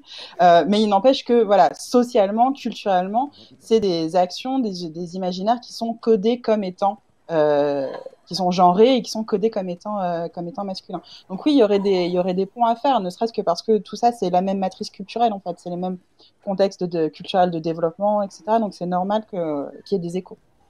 Et la, et la vengeance, euh, même s'il ne euh, s'agit pas d'un viol, est, centrale dans le deuxième épisode pour le coup. Du coup, c'est même le moteur principal de, de l'intrigue et de différentes formes de violence euh, incarnées par des femmes, donc euh, par euh, deux femmes différentes dans, dans, le deuxième épisode, qui représentent deux formes différentes de, de, de vengeance. alors là, on arrive dans un campement un petit peu euh, qui ouais. évoque euh, encore une fois beaucoup les codes du cinéma post-apocalyptique. Ouais, moi, moi, enfin moi, ça, ça m'a en y rejoignant hier, ça m'a vraiment fait euh, penser aux, aux, séquences qui, qui renvoient au monde d'après euh, la catastrophe euh, chez James Cameron et dans Terminator, quoi, où on voit comment la la communauté humaine vit de manière euh, euh, dégradée. Alors ici, bah, les rats qu'on mange et qu'on fait griller, c'est un motif qu'on retrouve après dans des petits euh, baraquements un peu plus loin. La survie, l'humanité comme ça, renvoyée aux pires extrémités pour continuer à continuer à vivre. Et puis ça va vraiment se, se concrétiser par une sorte de défilé sur la gauche là que Ronan s'apprête à, emprunter, euh, où, où, on retrouve quasiment un, un, une, une, séquence un peu en, en caméra subjective dans, dans, dans, dans Terminator, euh, où on, on, voit quelle est la, la vie après le, le, la, la, le fait que les robots aient gagné la, aient gagné la guerre et même on, on verra peut-être un petit peu au fond. Moi, j'ai été assez euh, assez frappé parce que on voit, il y, y, a des, références qui sont faites à la prostitution là auprès des, voilà, si tu touches, tu payes. On vient de le voir euh, s'afficher. Euh, on voit le fait qu'on on mange ce, des, euh, des, rats. On voit une violence euh, qui semble un petit peu organiser cette cette communauté qui vit donc en marge de la société militarisée. Les battes de baseball tenues comme ça. Et un peu plus tard, on a même un, un, personnage de petite fille. Alors, il faudra passer à travers voilà le, le, le camion, euh, avoir euh, surveillé ce qui se passe sur la droite, puisque voilà on a des, des combats, on, des jeux d'argent, des jeux de paris, des, toute cette violence qui semble ressurgir. Et on a on a une petite fille qui est euh, accroupie, agenouillée dans un coin, donc, donc presque même ça ça, ça renverrait vers la pédocriminalité, enfin de, de, de ce, ce, ce, vraiment l'humanité mise totalement à, à, bas et cet environnement dans lequel Tess et, et Joël doivent doivent survivre survivre. Et on est à hauteur d'homme aussi. C'est euh, intéressant dans ses travaux sur les films catastrophes. Euh, François-Xavier Molia parle beaucoup de parle beaucoup de ça. Euh, il dit que dans les films catastrophes hollywoodiens, un des motifs euh, qui est le plus souvent convoqué en termes de mise en scène, ça va être le montage alterné ou la forme chorale d'une certaine façon. Euh, il y a cette idée qu'on ne peut vivre la catastrophe qu'à vers le, la qu'à travers un le, personnage, avec une identification forte au, héros du film, et euh, ensuite à travers la à travers la, la communauté, euh, que la communauté est actrice en même temps que en même temps que victime, et qu'elle est aussi un relais. Alors, on a eu une précision sur, sur l'introduction alternative, c'est canonique dans le chat, qui disait qu'au début, on incarnait euh, Joël et non Sarah dans une première version. Euh, et il pose la question suivante euh, pensez-vous que le choix d'avoir finalement fait passer la jouabilité à Sarah fut plus pertinent euh, au niveau notamment en, empathique? Alors il y a écrit emphatique, mais je crois que c'était empathique qui voulait dire. oui, c'est ce que j'expliquais au début. C'était l'idée que j'essayais d'expliquer, hein, que effectivement, en nous faisant incarner Sarah, finalement, on, on nous projetait on, nous faisait nous, identifier à elle et donc euh, avoir une, une forme d'empathie et surtout au moment où on la perd, eh bien du coup on ressent exactement ce que ressent Joël, c'est-à-dire la perte d'un être effectivement euh, dont on est responsable en tant que joueur en quelque sorte. Hein, et, euh, et, du coup, ça, permettait de créer un écho, il me semble, entre l'écriture de la psychologie du personnage et la place du joueur au sein du gameplay. Et en termes spectaculaires, c'est beaucoup plus fort aussi, parce que ça permet de retarder l'arrivée de la preuve dans le ouais. cadre. Donc il y a un effet d'anticipation qui est beaucoup plus, euh, beaucoup plus travaillé. Mmh, tout à fait. Moi, je voulais rebondir aussi sur ce que vous avez dit précédemment tous les deux et que je trouve vraiment intéressant aussi, c'est que c'est la manière dont on se rend compte que la catastrophe elle agit comme un révélateur social. Donc là, on a vraiment cette impression que ça, ça fait ressurgir les plus bas instincts, les, un côté euh, absolument vil hein, dans euh, le comportement des, des, personnages, de tous les personnages, euh, et euh, donne vraiment cette impression. Bon, on l'a beaucoup écrit, beaucoup lu, c'est un peu impensif, mais effectivement que l'homme est un loup pour l'homme en quelque sorte, euh, et que ça nous, que le, le survival, hein, parce que effectivement le jeu s'inscrit, dans, on l'a pour la plupart du temps inscrit dans le genre du survival horror le genre du survival est un genre qui justement cherche à aller creuser euh, dans les tréfonds de l'âme humaine les choses les plus sauvages, enfin, les aspects les plus sauvages, où euh, pour effectivement survivre à une situation, l'être humain est obligé de euh, d'en revenir à, à, à, sa sauvagerie euh, initiale en quelque sorte d'animal, euh, et donc de se désocialiser. Et très clairement, le jeu montre ça aussi. Hein, dans, finalement, c'est quelque chose qui, qui apparaît dans, dans, dans le tissage du scénario, c'est qu'au départ, la menace que c'est les infectés parce qu'effectivement tous les médias, le, euh, le, le, côté militariste, etc. fait comprendre que c'est ça la menace. Du coup, au début du jeu, on est vraiment dans cette logique et du coup, le fait de tuer euh, devient justifié en quelque sorte par le récit. Euh, et progressivement, on se rend compte que les infectés ne sont pas la véritable menace, mais que c'est plutôt les êtres humains restants euh, qui, euh, qui trompent, qui volent, qui tuent et qui n'ont aucun scrupule à le faire. Et c'est aussi ça qui fait qu'il y a un truc très très intéressant et à la fois très dérangeant dans ces deux jeux, hein, dans le premier épisode et dans le deuxième, et peut-être je trouve que dans le deuxième, c'est plus réussi encore. Parce que le premier convoque encore une forme d'ambiguïté qui, à mon avis résiste pas à la fin. Moi, c'est encore mon avis en tout cas. Je trouve que la fin du jeu casse vraiment cette ambiguïté. Euh, c'est que et c'est la, complexité du médium vidéoludique, c'est que il y a incontestablement un plaisir de jeu. Quand on fait un jeu vidéo, c'est qu'évidemment il y a un plaisir à retrouver des codes, à, effectivement euh, être dans une logique de, de, de personnage héroïque qu'on va présenter comme tel, etc. Maureen, tu l'as bien souligné tout à l'heure. Et ça crée une forme d'ambiguïté du discours. Euh, mais par ailleurs, euh, c'est un jeu qui interroge aussi, enfin, c'est deux jeux qui interrogent en profondeur ce, cette position de joueur, en fait. Enfin, concrètement, c'est un jeu qui nous place face à des responsabilités. Euh, alors, c'est pas perçu par tout le monde de la même manière. Moi, je sais que je l'ai vécu très frontalement, très douloureusement. la fin du premier, ça a été un traumatisme pour moi. Je, suis arrivé à la fin du jeu, mais c'est pas possible, ils vont pas me faire faire ça. Je ne, je ne, peux pas accepter ce qu'ils me proposent. Et à la fois, je dis, mais ça me pose tout un tas de questions sur, sur ma place dans le monde, sur la place du personnage dans le récit, dans sa position par rapport au personnage d'Ellie, etc., et par rapport au reste du monde. Donc il y, a vraiment un enjeu qui, qui euh, qui se répercute vraiment dans la suite, qui, ben, tu, tu l'évoquais Angelo, hein, qui, qui vraiment se présente comme un jeu de, de, de, revanche, de vengeance en quelque sorte, un récit de vengeance, et qui là pour le coup, pendant tout le jeu, interroge notre, notre place de joueur, c'est-à-dire que pendant une première partie, on va oui, prendre un plaisir indéniable parce que le jeu est incroyablement réussi en termes de gameplay, de, en termes visuels, etc. Donc il y a ce plaisir qui crée une forme d'ambiguïté, voire même d'ambivalence parfois, et qui ensuite va briser complètement les choses pour nous interroger sur nos propres notre propre responsabilité de joueur. Bon, c'est bon, utiliser le jargon universitaire, c'est ce qu'on appelle la dissonance ludonarrative. Euh, c'est effectivement la différence entre le fait que le personnage dans le gameplay va pouvoir tuer plein de personnages, alors que dans les cinématiques du jeu, il va apparaître la plupart du temps comme un personnage euh, comment, respectueux des autres, etc. Et, qui fait que il y, a, un souci de, contraste entre ce que, ce que fait le personnage euh, dans le gameplay, ce qu'on lui fait faire en fait, et ce qu'il est concrètement dans l'écriture. Et il me semble que c'est des jeux qui interrogent profondément ce décalage, en, faisant en sorte de nous faire peser le poids des responsabilités des meurtres euh, que l'on commet. C'est-à-dire que c'est un jeu où on va assassiner, on va, tuer à la fois des monstres, mais on va aussi tuer des êtres humains. On va nous amener, on va nous obliger en quelque sorte à le faire si on veut finir le jeu. Euh, et ce faisant, bien sûr, ça nous, pose question sur notre, sur, euh, sur cette humanité déliquescente hein, que, cette catastrophe euh, réveille en quelque sorte. C'est intéressant parce que là, il me semble qu'il y a une différence entre, enfin, dans la gestion de, de la responsabilité morale des assassinats euh, qui sont euh, récurrents dans, dans le jeu, il y a une différence entre le premier et le deuxième. Je me faisais la réflexion hier en revoyant la, la première heure du, du, du, premier. Euh, dans le 1, et notamment au début, Joël étrangle, et en fait, il y a il y a quelque chose. Finalement, toutes les morts des soldats là qu'on tue à répétition, elles sont presque anecdotiques parce qu'il se passe pas grand chose en fait. Il y a pas, il y a très peu de sang, etc., etc. J'en parlais avec euh, mon frère qui est le joueur de la maison et et euh, il me disait, le, les, les, on, en fait, on construit ces surins, etc. On se sert essentiellement des surins pour tuer les, les infectés. Et sinon, et voilà, il y a ce recours à l'étranglement. Alors que dans le 2, euh, les meurtres, euh, qui sont tout aussi nombreux, sont quand même vécus par euh, Ellie euh, de façon beaucoup moins cool, si j'ose dire, au sens où déjà elle égorge beaucoup, donc les meurtres sont beaucoup, enfin en tout cas en termes de mise en scène c'est beaucoup plus fort.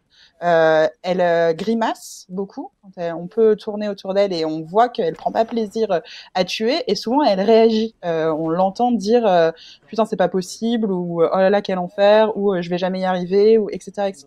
Alors que chez Joël il y a une forme de calme plat dans l'exécution qui est presque inquiétante et qui enfin c'est pour ça que j'insiste aussi j'insistais tout à l'heure sur le fait que ce n'est pas quelqu'un de vraiment très ordinaire. Il y a quelque chose de très inquiétant moi je trouve chez Joël et notamment dans la enfin je trouve que la séquence euh, euh, qu'on est en train de traverser actuellement là le montre bien parce qu'en fait en l'espace de 4 minutes je pense qu'il tue à peu près 15 gars et sans scier il y a il y a aucun problème. C'est plus ou moins violent ou plus ou moins pas violent. On peut tout faire de façon euh, furtive en alertant personne Enfin voilà, c'est quand même très angoissant, je trouve. En tout cas, moralement, ça ouais. pose effectivement, euh, ça pose effectivement question. Ah bah, indéniablement, mais ça, pour moi, c'est ce que je disais, c'est que c'est un personnage qui se détruit en fait de l'intérieur. Mm. C'est euh, l'ellipse de, de 20 ans hein, qui, qui sépare le jeu et, et, et, le, et le récit principal. Euh, montre effectivement que le personnage, cette dérive qu'on pouvait déjà percevoir, en fait, qui sont déjà sous-jacentes dans son attitude dans le, le prologue, euh, sont exacerbées en réalité, et ça mmh. devient effectivement un personnage très inquiétant, Joël. Enfin, et ça, c'est, je trouve que c'est quelque chose qu'on n'a pas assez mis en évidence hein, dans, dans, dans, le jeu. C'est, c'est quand même un personnage dont on questionne les actions à plusieurs reprises, et notamment à la fin. Enfin, je veux dire, c'est oui, quand même, euh, c'est, indéniable, quoi. Donc oui, tu as tout à fait raison de souligner que c'est beaucoup plus qu'un personnage, euh, qu'un qu qu être humain ordinaire, c'est beaucoup plus que ça. Mais je pense aussi que c'est lié à, à l'impact survivaliste de la catastrophe, qui oui. justement réveille en lui cette part inhumaine en quelque sorte. Hein.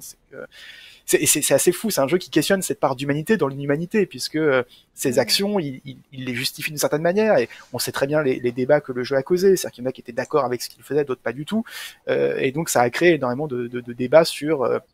Sur l'attitude du personnage et sur l'écriture du deuxième épisode. Hein. On sait que le deuxième épisode a créé des polémiques énormes. On va peut-être pas revenir dessus pour pas spoiler, euh, mais, mais on sait bien que euh, énormément de, de discours haineux hein, se sont fait jour à, euh, à l'aune des événements narratifs du, du deuxième, ce qui montre bien qu'il y y a une problématique discursive quand même derrière, quoi. quelque chose qui est, qui est profondément dérangeant dans ces œuvres.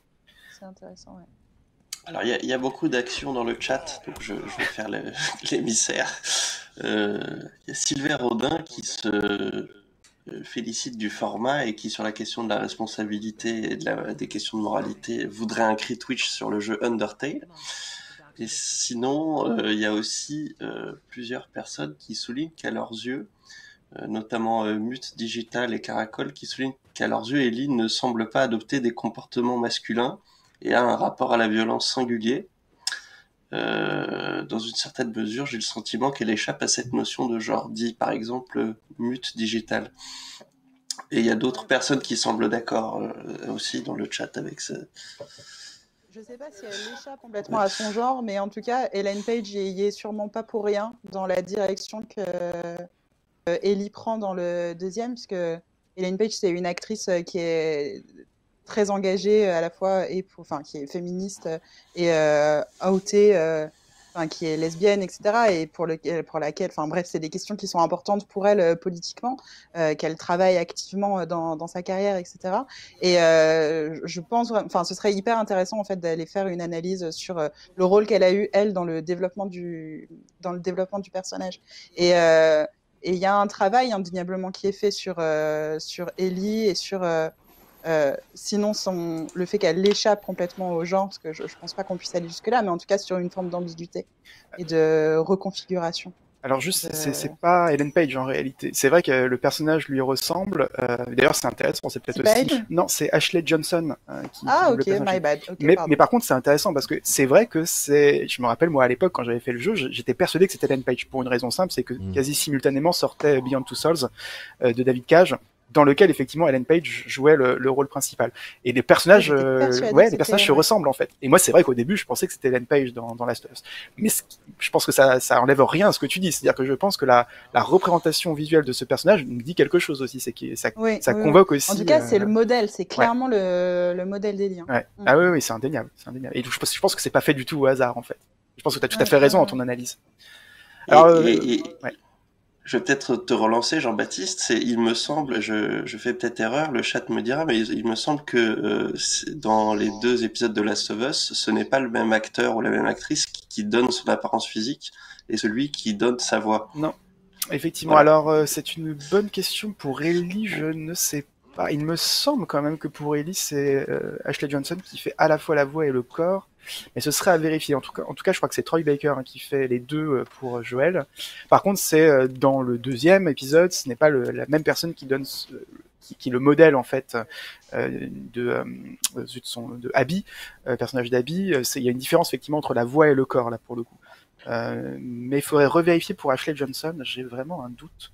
Je crois que c'est elle qui fait les deux. Quand même. Ah, il me semble, on dit, euh, Crash dit si c'est les mêmes dans le chat, mais il me semble que j'ai vu que c'était une euh, actrice plutôt blonde hein, qui, qui Ah doublait. euh, donc, euh, Oui, oui, donc bien sûr. pas.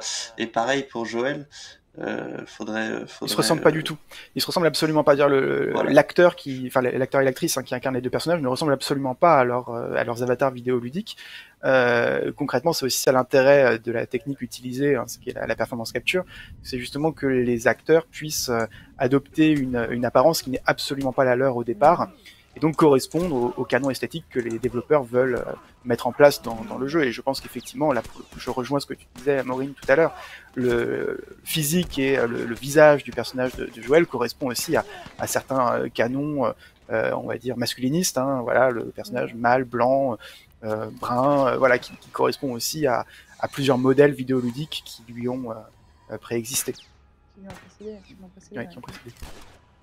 Oui, voilà, par, par rapport aux réactions du chat, eh il semblerait que dans le dans l'épisode, ils ont plutôt repris des, des, des visages aussi et des corps euh, existants, alors que c'est pas forcément le cas dans le premier, c'est ça la différence. Tout à fait. Ouais. C'est-à-dire qu'en fait, ils ont modélisé des personnages inédits pour le pour le premier, Mais en revanche, euh, par contre, j'ai vu euh, hier une vidéo où il y avait Dina, enfin l'actrice qui avait donné son visage à Dina, l'actrice qui avait donné son visage à Abby et qui n'était pas, par contre, il me semble, les personnes qui jouaient ce rôle. Tout à fait, exactement. Donc ça crée, ça crée quelque chose d'hybride. Je ne sais pas si c'est courant, Jean-Baptiste, comme c'est un peu une de tes alors, dans le domaine du jeu vidéo, je pense que c'est plus courant que dans le domaine du dans le domaine du cinéma. On va plutôt insister sur le fait que la performance capture, elle permet bien sûr de retranscrire à la fois le, la performance corporelle, la performance du visage et la voix. Il y a les, les trois en même temps.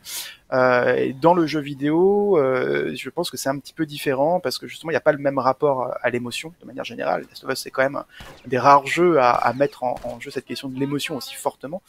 Euh, il y en a bien d'autres, bien sûr, hein, mais c'est pas le, la logique principale du jeu vidéo. Donc, dans ce domaine-là, il me semble que ce décalage entre la voix, le corps, le visage est, est plus à même d'être euh, d'être modifié, d'être interrogé. Et d'ailleurs, ce qui est intéressant, c'est que l'un des premiers films de long métrage à avoir intégralement utilisé la motion capture, qui n'était pas encore la performance capture à l'époque, à des fins euh, réalistes ou photoréalistes, c'était le Final Fantasy d'Hironobu Sakaguchi, euh, qui est une adaptation de jeu vidéo. Et là, pour le coup, Sakaguchi il avait clairement dit, moi, ce qui m'intéresse, c'est pas d'avoir des acteurs qui sont retranscrits virtuellement euh, dans le film, c'est de construire une figure virtuelle à partir de plein de bouts de performances différents. Que ce soit pas les mêmes acteurs, les mêmes actrices qui, fassent les mouvements, le même personnage. Euh, on a effectivement une voix qui est bien sûr la même, mais par contre, les mouvements du corps étaient impulsés par différents acteurs ou actrices. Et ça, bien sûr, c'était l'idée de créer un personnage qui, qui, euh, qui, soit entièrement virtuel, en fait, hein, qui, qui n'est pas une identité dans la réalité, en quelque sorte. Donc je pense que l'imaginaire du jeu vidéo incite plus à ça que l'imaginaire du, du, cinéma. C'est hyper intéressant. Moi, je savais pas, j'étais pas du tout au courant de tout ça, mais euh, je, je trouve ça beaucoup plus fort en fait en termes d'engagement euh, dans le jeu d'avoir ces personnages qui sont euh, en fait des corps et des visages euh, inédits, même si on peut y reconnaître euh, des, des, acteurs ou des, ou des corps qu'on connaît euh, par ailleurs ou qui viennent d'autres univers culturels, etc. Euh, mais ça me fait penser en fait à, à ce qu'a fait Death Stranding là récemment, en convoquant pour le coup vraiment des acteurs du de cinéma connus et euh, finalement, euh, je trouve qu'une partie de bon, Death Stranding, ça m'ennuie un peu, mais je trouve qu'une partie de, de, de, de, cette distance-là qui s'installe avec le jeu vient du fait qu'on reconnaît en fait ces acteurs et que euh, on est, euh, comment, d'une certaine façon, on est diverti par la performance euh, technique. Je sais pas si je suis très claire, mais euh, quand oui. je vois Léa Seydoux apparaître dans Death Stranding, je me dis, ah mon dieu, comment est-ce qu'ils ont fait ça Et qu'est-ce que ça veut dire pour Léa Seydoux, etc. Bref, ça, ça a fait dériver mon attention qui est plus centrée sur le jeu et ce qui s'y passe, ouais. mais plutôt sur quelque chose d'autre. C'est comme ça amène, en fait, le, ça, ça, ça, ça, amène trop de, trop de cinéma dans le jeu vidéo d'une certaine façon. Quelque chose de trop exogène. Mm. Moi, moi, à mon avis, mais je, je, pense que le, ce qui se passe entre le, le, premier épisode et le deuxième épisode de Last of Us par rapport à ça, le, le fait d'affirmer euh, la reproduction de vrais acteurs dans, dans le jeu, à mon avis, ça répond à, à deux choses. Euh, D'une part, ça permet de confirmer la performance technique, c'est-à-dire que si on peut comparer le modèle original avec son avatar euh, 3D dans le jeu, on, on peut voir euh, les, les, les, les, les, progrès techniques qui sont euh, réalisés, on peut les comparer euh, directement, et qui est aussi un enjeu typiquement de ce genre de production. Hein, on rappelle, ouais, c'est un jeu triple A, même adapté d'un d'un genre euh, très euh, série B et populaire, mais enfin avec des moyens euh, techniques particuliers.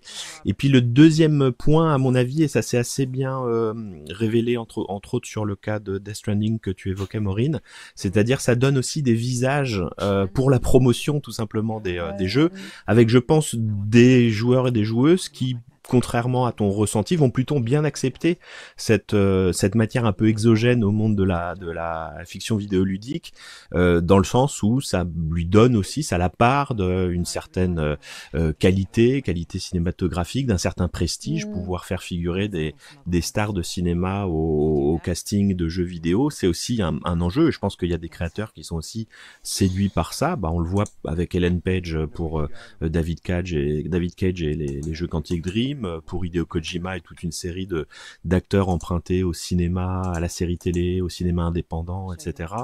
Je, je pense que là, il y a, y a des, des, des, enjeux, toujours dans ces rapports et ces frictions entre les statuts symboliques de chacun des médias, euh, qui est d'aller s'emparer un petit peu de, de ça pour, euh, pour enrichir, avoir le sentiment d'enrichir de, de, et d'améliorer son, euh, son jeu.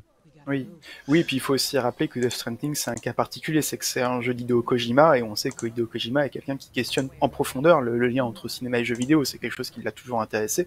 Hideo Kojima, au départ, il voulait pas faire de jeu vidéo, il voulait faire du cinéma, et quand il a, il s'est découvert le média, le médium vidéoludique, il s'est dit, ah, bah, c'est super, en fait, je peux euh, assouvir mes désirs de mise en scène, mais à travers un médium qui finalement coûte moins cher à l'époque, effectivement, ça coûtait moins cher de le faire.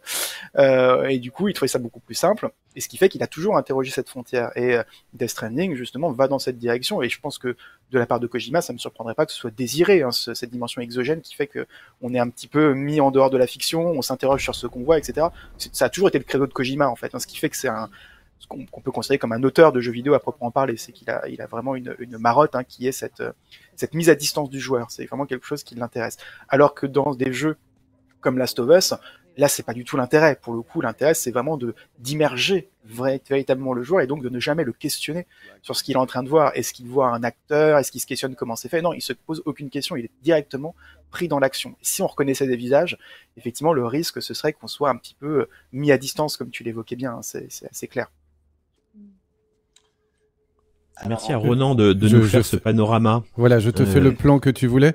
J'en profite pour dire que c'est d'ailleurs la même mécanique qui a été utilisée dans Cyberpunk. Bon, certes, qui n'est pas sorti, mais ils ont mis beaucoup en avant le fait d'avoir euh, des acteurs, en tout cas un acteur très connu euh, au sein du, du, jeu. Et je pense qu'effectivement, je suis assez d'accord avec Alexis. Je pense qu'il y a un aspect marketing ou du moins performance aussi, capacité de l'acteur à jouer.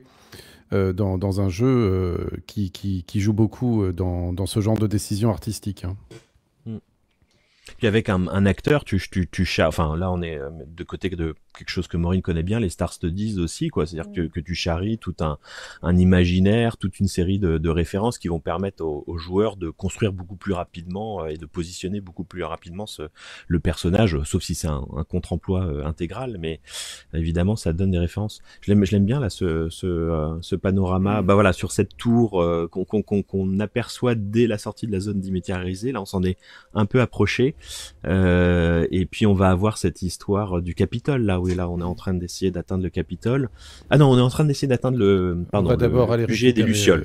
Oui oui. Donc il vient d'exploser hein, donc mais mais mais euh, on, on, retrouve des. Moi, ça me fait pas, penser à Half-Life 2 où il y avait mm. ça, où très très souvent il y avait des sorties à l'extérieur. Euh, euh, Maureen disait voilà, il y a des moments d'intérieur, des moments d'extérieur, et puis les moments d'extérieur permettent de nous dire bon bah où on se situe dans cette euh, dans cet environnement mm. euh, et si on s'approche de, de nos objectifs. Ouais.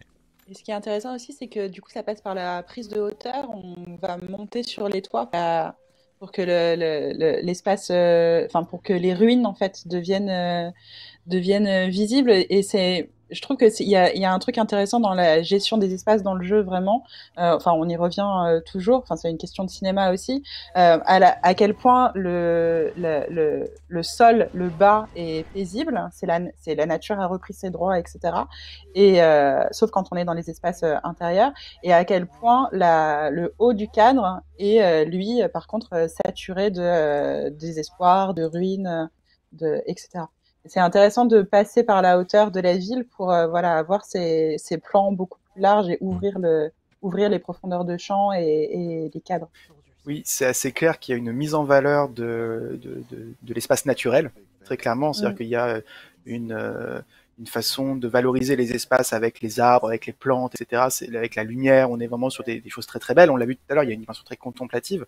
Alors que dès qu'on est dans les espaces créés par, par l'être humain, c'est-à-dire voilà ces, ces immeubles, ces, ces, zones intérieures, etc. Il y a un côté très déprimant, c'est tout gris, mmh. c'est froid, il n'y a pas de vie, et on est effectivement sur des, des, choses qui ne sont plus là, qui ne sont plus vivantes.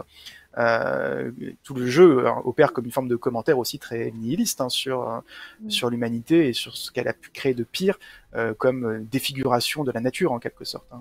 Mmh. Mais la palette chromatique, elle ressemble vraiment, vraiment à ce que fait, euh, à ce que fait Hillcoat dans, dans The Road. Hein. C'est des, des, euh, des, couleurs comme ça qui sont très désaturées, beaucoup de brun, d'ocre, de gris. Mmh. Ça ressemble vraiment à, aux, images, aux images de la route. Oui. Oui, c'est-à-dire que cette euh, désaturation, elle dévitalise aussi les espaces. Ouais. Elle, elle est... Oui, c'est un espace exsangue hein, ouais. d'une certaine façon. Mm. Et donc, ça fait à peu près presque une heure et demie et on n'a toujours pas croisé euh, un personnage assez important, Ellie, qui va pas tarder. Essentiel. Qui va pas tarder à arriver. Ouais. Qui va pas tarder à arriver. Ouais. Voilà. Et là encore, on voit à quel point la, la, la, construction du scénario est aussi là pour créer de l'attente, hein, en quelque sorte, puisque le mmh, personnage il est annoncé en fait très rapidement euh, dans la médiatisation du jeu. Euh, bon, on a vu hein, sur la, la page d'accueil de la Crit Twitch hein, avec le personnage d'Ellie qui était mis au premier plan, euh, alors qu'on l'a encore pas vu et qu'on n'arrête pas d'en parler.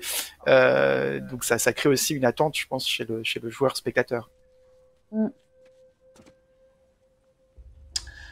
effectivement, on a aussi en termes de, de, game design quelque chose qui que The Last of Us n'a pas inventé, mais qu'il a systématisé, c'est le fait de voir euh, un bâtiment, de s'en rapprocher petit à petit, notamment dans différentes villes américaines, Boston, Seattle, euh, etc. Et, euh, et de, de, vraiment créer cette, cette, cette forme de narration euh, où on aurait presque envie d'avoir un spécialiste d'urbanisme pour euh, pour intervenir un peu sur comment est-ce qu'on narrativise l'espace de cette façon aussi en créant euh, des vues, en créant des, des ouvertures. Alors que le jeu est par ailleurs, bien entendu, euh, à des très rares exceptions, mais globalement vraiment fermé par rapport à, au modèle open world qui peut utiliser la même technique peut-être différemment. Mmh. Oui, c'est clair que c'est un jeu bon, qu'on a souvent qualifié, mais un peu plus, moins que Uncharted quand même, mais d'un jeu de couloir en fait, où euh, mhm. on n'a pas vraiment d'espace de liberté, on est euh, pris dans un scénario qui nous amène d'une séquence à une autre et qui là plutôt pour nous raconter une histoire plutôt que pour créer des moments de gameplay. Ça avait été très reproché à Uncharted 3 normalement, notamment, euh, un petit peu moins à Last of Us parce qu'effectivement le scénario était tellement bien écrit que finalement on, se laissait prendre à, euh, cette méthode. Euh, mais le deuxième épisode va ouvrir, hein, on, le sait, hein, va ouvrir ces espaces, va permettre de donner un peu plus de liberté aux, personnages avec des zones semi-ouvertes. Mais là, concrètement, cette fermeture de la narration, ce, côté jeu de couloir, je le trouve intéressant parce qu'il euh, il montre bien la, la de personnage qui est complètement pris dans une situation et qui peut pas s'en dépêtrer en fait, et qui, qui est une sorte de, ligne droite. Hein. Tout le jeu est pensé comme une ligne droite euh, et à la fois ça retranscrit aussi la perception, encore une fois, le point de vue. Je, très je suis obsédé par cette question du point de vue dans les arts, euh, dans le cinéma, le jeu vidéo, etc. Comment nous faire retranscrire, comment nous faire ressentir le point de vue d'un personnage? Et là, concrètement, c'est ce côté, euh, il a une mission, il, doit aller au bout de cette mission. Et on comprend bien la psychologie du personnage de, euh, de Joël au travers de ce choix de game design très jeu de couloir. C'est une façon d'endiguer le traumatisme aussi, puisque c'est ce qu'on disait tout à l'heure sur le fait que la catastrophe perturbe et elle crée du, de enfin, à la fois de la stagnation et aussi de l'éternel retour en, en, en, par exemple en occasionnant dans les films des flashbacks, euh, des, des, des espèces de scènes comme ça, euh, flash, qui font revenir des, des moments traumatiques etc., etc. Ce qui est frappant dans The Last of Us, euh, c'est que il y a cette euh, effectivement cette esthétique de la ligne droite d'une certaine mm. façon. Euh, c'est une façon de mettre en récit ce qui s'est passé et aussi de réaccéder à la lumière, enfin, en fait de résoudre quelque chose, de, de, de, résoudre le, le, traumatisme inaugural qui est celui de la mort de Sarah, euh, de passer outre la catastrophe en se reconstruisant dans une relation euh, euh père-fille, de sauver non pas l'humanité, mais le, le, un personnage auquel on est attaché, etc. Bref, il y a une forme de résolution traumatique qui euh, peut se faire mmh. avec cette, euh, cette esthétique de la ligne droite. Alors que si le monde avait été ouvert, on serait resté dans quelque chose de beaucoup plus, euh, de beaucoup plus traumatique pour le coup, de, voilà, de stagnation, de suspension, d'impossibilité à avancer, etc., etc. Pour moi, c'est vraiment cohérent avec le projet, le projet dramatique du jeu, qu'il faille avancer, en fait, d'une certaine façon. Il faut avancer pour s'en sortir. Ouais, c'est super intéressant parce qu'on voit bien à quel point ça fait écho aussi à la différence du 2 qui lui pour le coup mm. joue la carte de l'errance parce que le personnage est en quête de sens, c'est-à-dire qu'il n'y a plus de sens en réalité. Quoi. Et il y a beaucoup plus de flashbacks. Ouais. On revoit Joël, etc. Tout à fait. Ah, donc euh, nous sommes dans une séquence importante du jeu, effectivement, la rencontre avec le deuxième personnage principal, donc, euh, qui est Ellie. Et qui apparaît avec un couteau tout de suite, ouais. assez menaçante. Mm.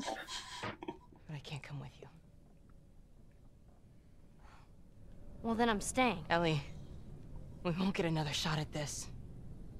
Hey, we're smuggling her?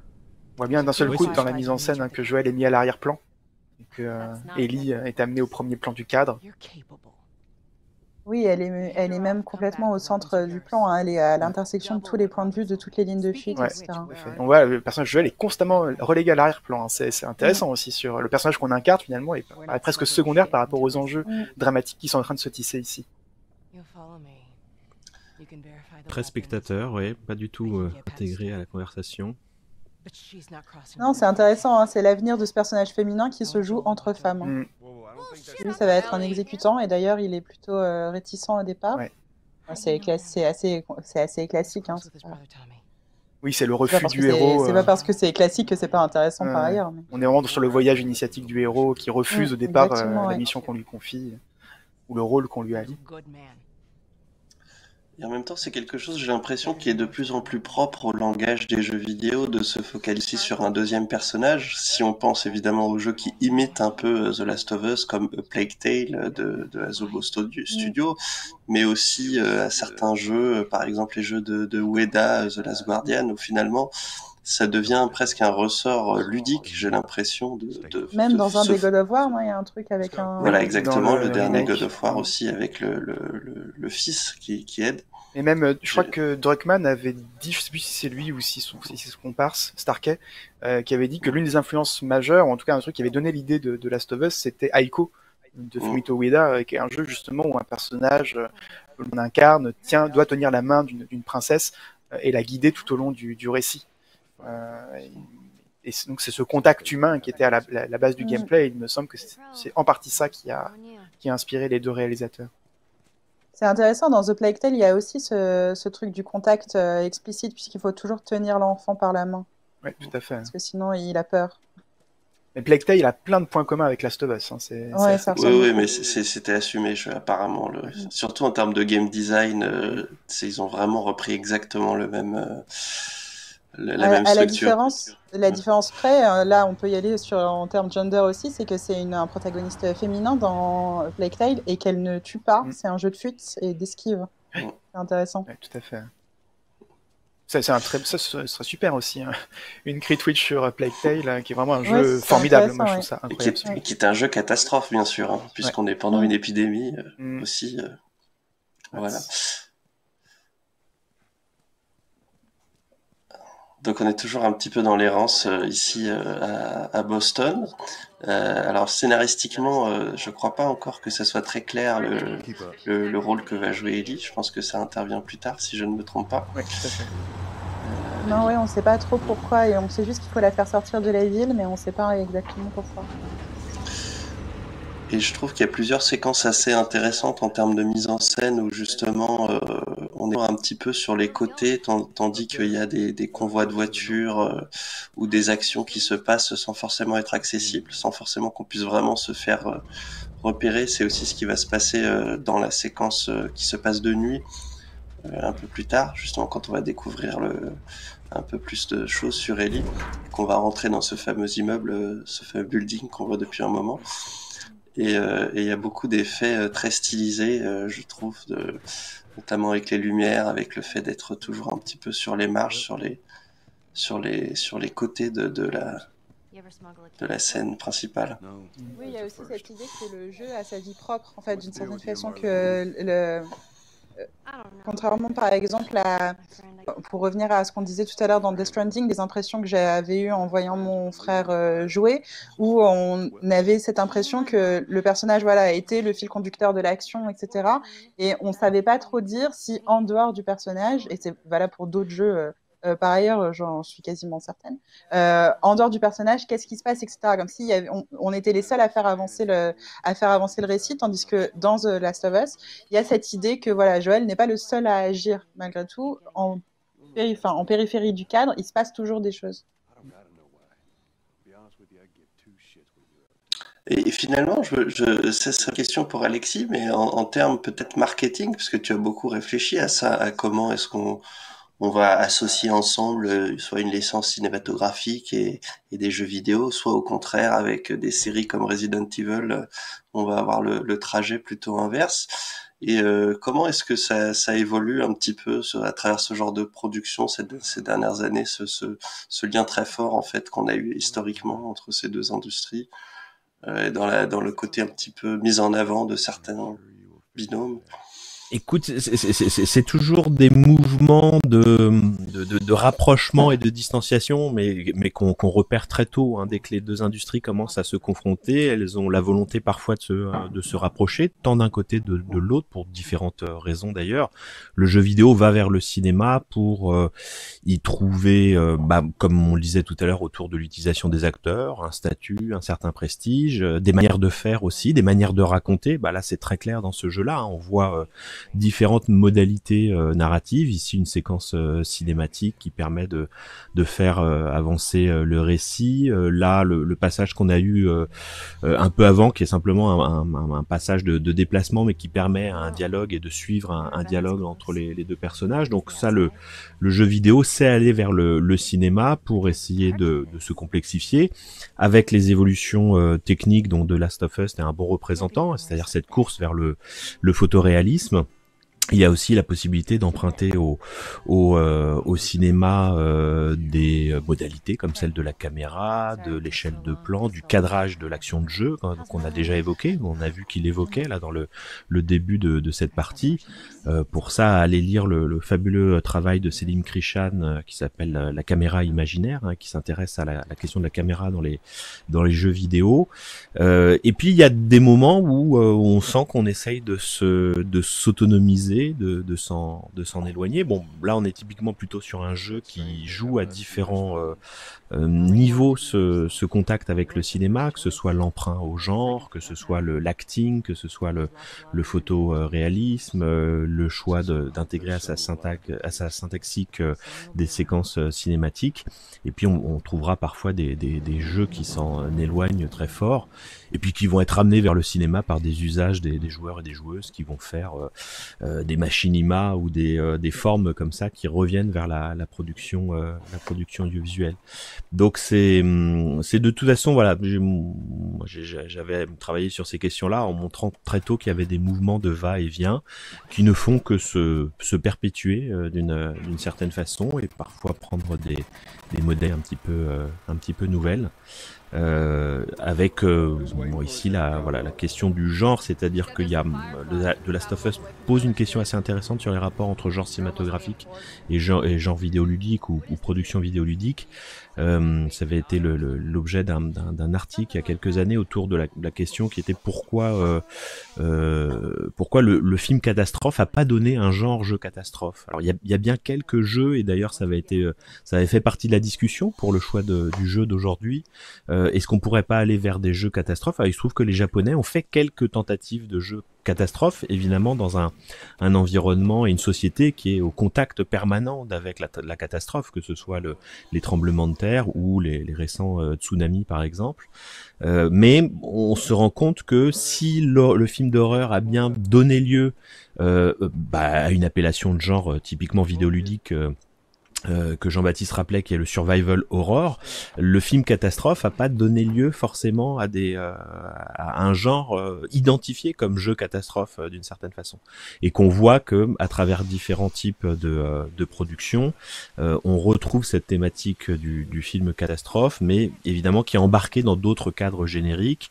Euh, ici, le survival horror, le third person shooter qu'on a qu'on a bien vu d'ailleurs dans des séquences sur lesquelles euh, finalement d'un coup la matière ludique était peut-être un peu plus pauvre pour notre discussion et on a vu qu'on a on a développé sur d'autres aspects parce que c'est assez mécanique, euh, assez répétitif. Euh, mais voilà, le, le, le, jeu catastrophe et quand bien même on, on en retrouve des traces très très tôt hein, sur les, les consoles du début des années 80.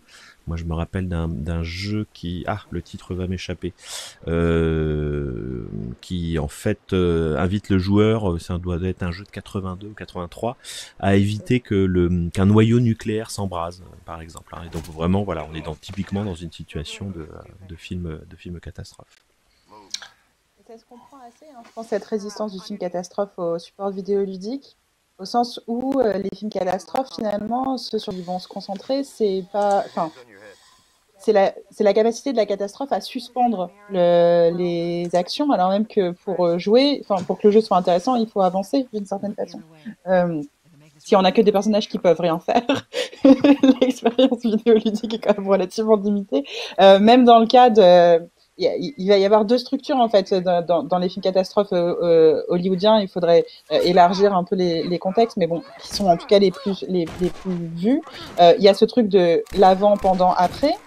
C'est par exemple typiquement le jour d'après avec Jack Gyllenhaal et tout ça. Et ensuite il y a ces films où la catastrophe est ininterrompue. Elle arrive au début et ensuite elle court sur tout le film jusqu'à peut-être s'endiguer à la fin, c'est euh, La guerre des mondes de Spielberg qu'on euh, évoquait tout à l'heure. Mais dans La guerre des mondes, c'est assez visible et euh, le casting de Tom Cruise n'est pas innocent là là-dessus. enfin, c'est intéressant parce que c'est un contre-emploi terrible d'une certaine façon. C'est que le personnage de Tom Cruise, il est toujours en incapacité de faire quelque chose. Il est toujours stoppé mm. dans ses courses, dans ses fuites, etc., etc. Bref, la catastrophe le rattrape, le rattrape toujours. Ça, du coup, à jouer, enfin, en tout cas, à transcrire en termes vidéoludiques, ça me semble extrêmement compliqué, voire même presque antinomique d'une certaine façon, euh, puisque euh, puisque le, le, le, on peut pas avancer quoi, on peut pas agir d'une certaine façon, on peut rien donner à faire aux personnages puisqu'ils vont toujours être empêchés. Donc il me semble que ça ça serait une expérience vidéoludique extrêmement euh, frustrante, peut-être expérimentale, mais euh, pas sûr que ça se vende beaucoup. Alors il y a d'ailleurs, euh, bien sûr, comme le fait remarquer, euh, comme leur fait remarquer quelqu'un dans le chat, j'ai pas vu qui c'était. Oui, Or in the Sky, il va y avoir une série HBO, The Last of Us, qui est prévue pour, pour très bientôt. Signé par celui qui avait fait Tchernobyl, c'est ça Ah zut, son nom m'échappe d'un coup. Est-ce que ce sera avec Ellen Page? Je, je crois. Je sais pas. En tout cas, je trouve que c'est intéressant que ce soit signé par cette personne qui a fait Tchernobyl, puisqu'effectivement, on est sur une ambiance, une atmosphère. Il a, il a réussi à capter quelque chose de très fort hein, dans la série. C'est cette façon de la menace invisible. Euh, il y avait un truc vraiment mhm. très impressionnant. Je suis assez curieux de voir ce qu'ils pourront faire, sachant que, à mon sens, la grande réussite de Last of Us, contrairement à ce que beaucoup ont pu dire et écrire, c'est pas forcément son scénario, qui est certes très bien écrit, mais c'est la manière dont il est mis en scène vidéoludiquement, encore une fois. Et ce scénario-là, appliqué au cinéma, je suis pas sûr qu'il soit aussi impactant. Ce qui est intéressant, là, c'est le, rapport au joueur, hein, encore une fois, qui est vraiment essentiel dans, la réussite du jeu. Alors, alors, du coup, par contre, je ne pouvais pas m'empêcher de penser, euh, Alexis, en t'écoutant, euh, qu'on aurait pu te rétorquer quand même que le genre post-apocalyptique, qui a quand même un lien euh, avec le, genre du film catastrophe, même si c'est pas exactement la même chose, euh, est devenu par contre euh, central et même euh, parfois devient presque inintéressant tellement il semble être en fait un univers un peu prêt à porter dans, dans certains jeux.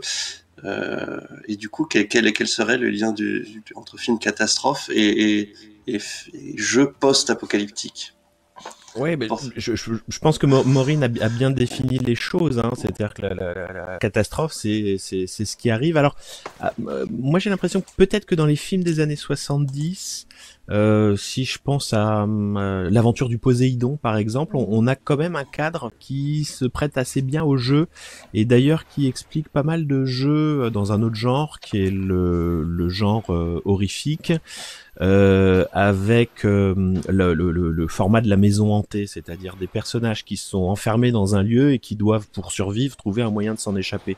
Euh, Resident Evil, précisément, euh, est un jeu qui correspond comme ça. On se retrouve enfermé dans un manoir euh, de Old Dark House, donc vraiment euh, vieille formule euh, hollywoodienne de la fin des années 20, début des années 30, support au développement du film d'épouvante dans les années 30, où des, des personnages réunis doivent trouver un moyen de, de s'échapper. Et là, on, on, a un peu deux catégories, hein, qui sont celles de, de, la, de la menace et de l'environnement hostile, et puis de la nécessité de, de, de parcourir cet environnement pour, euh, pour s'en euh, sortir.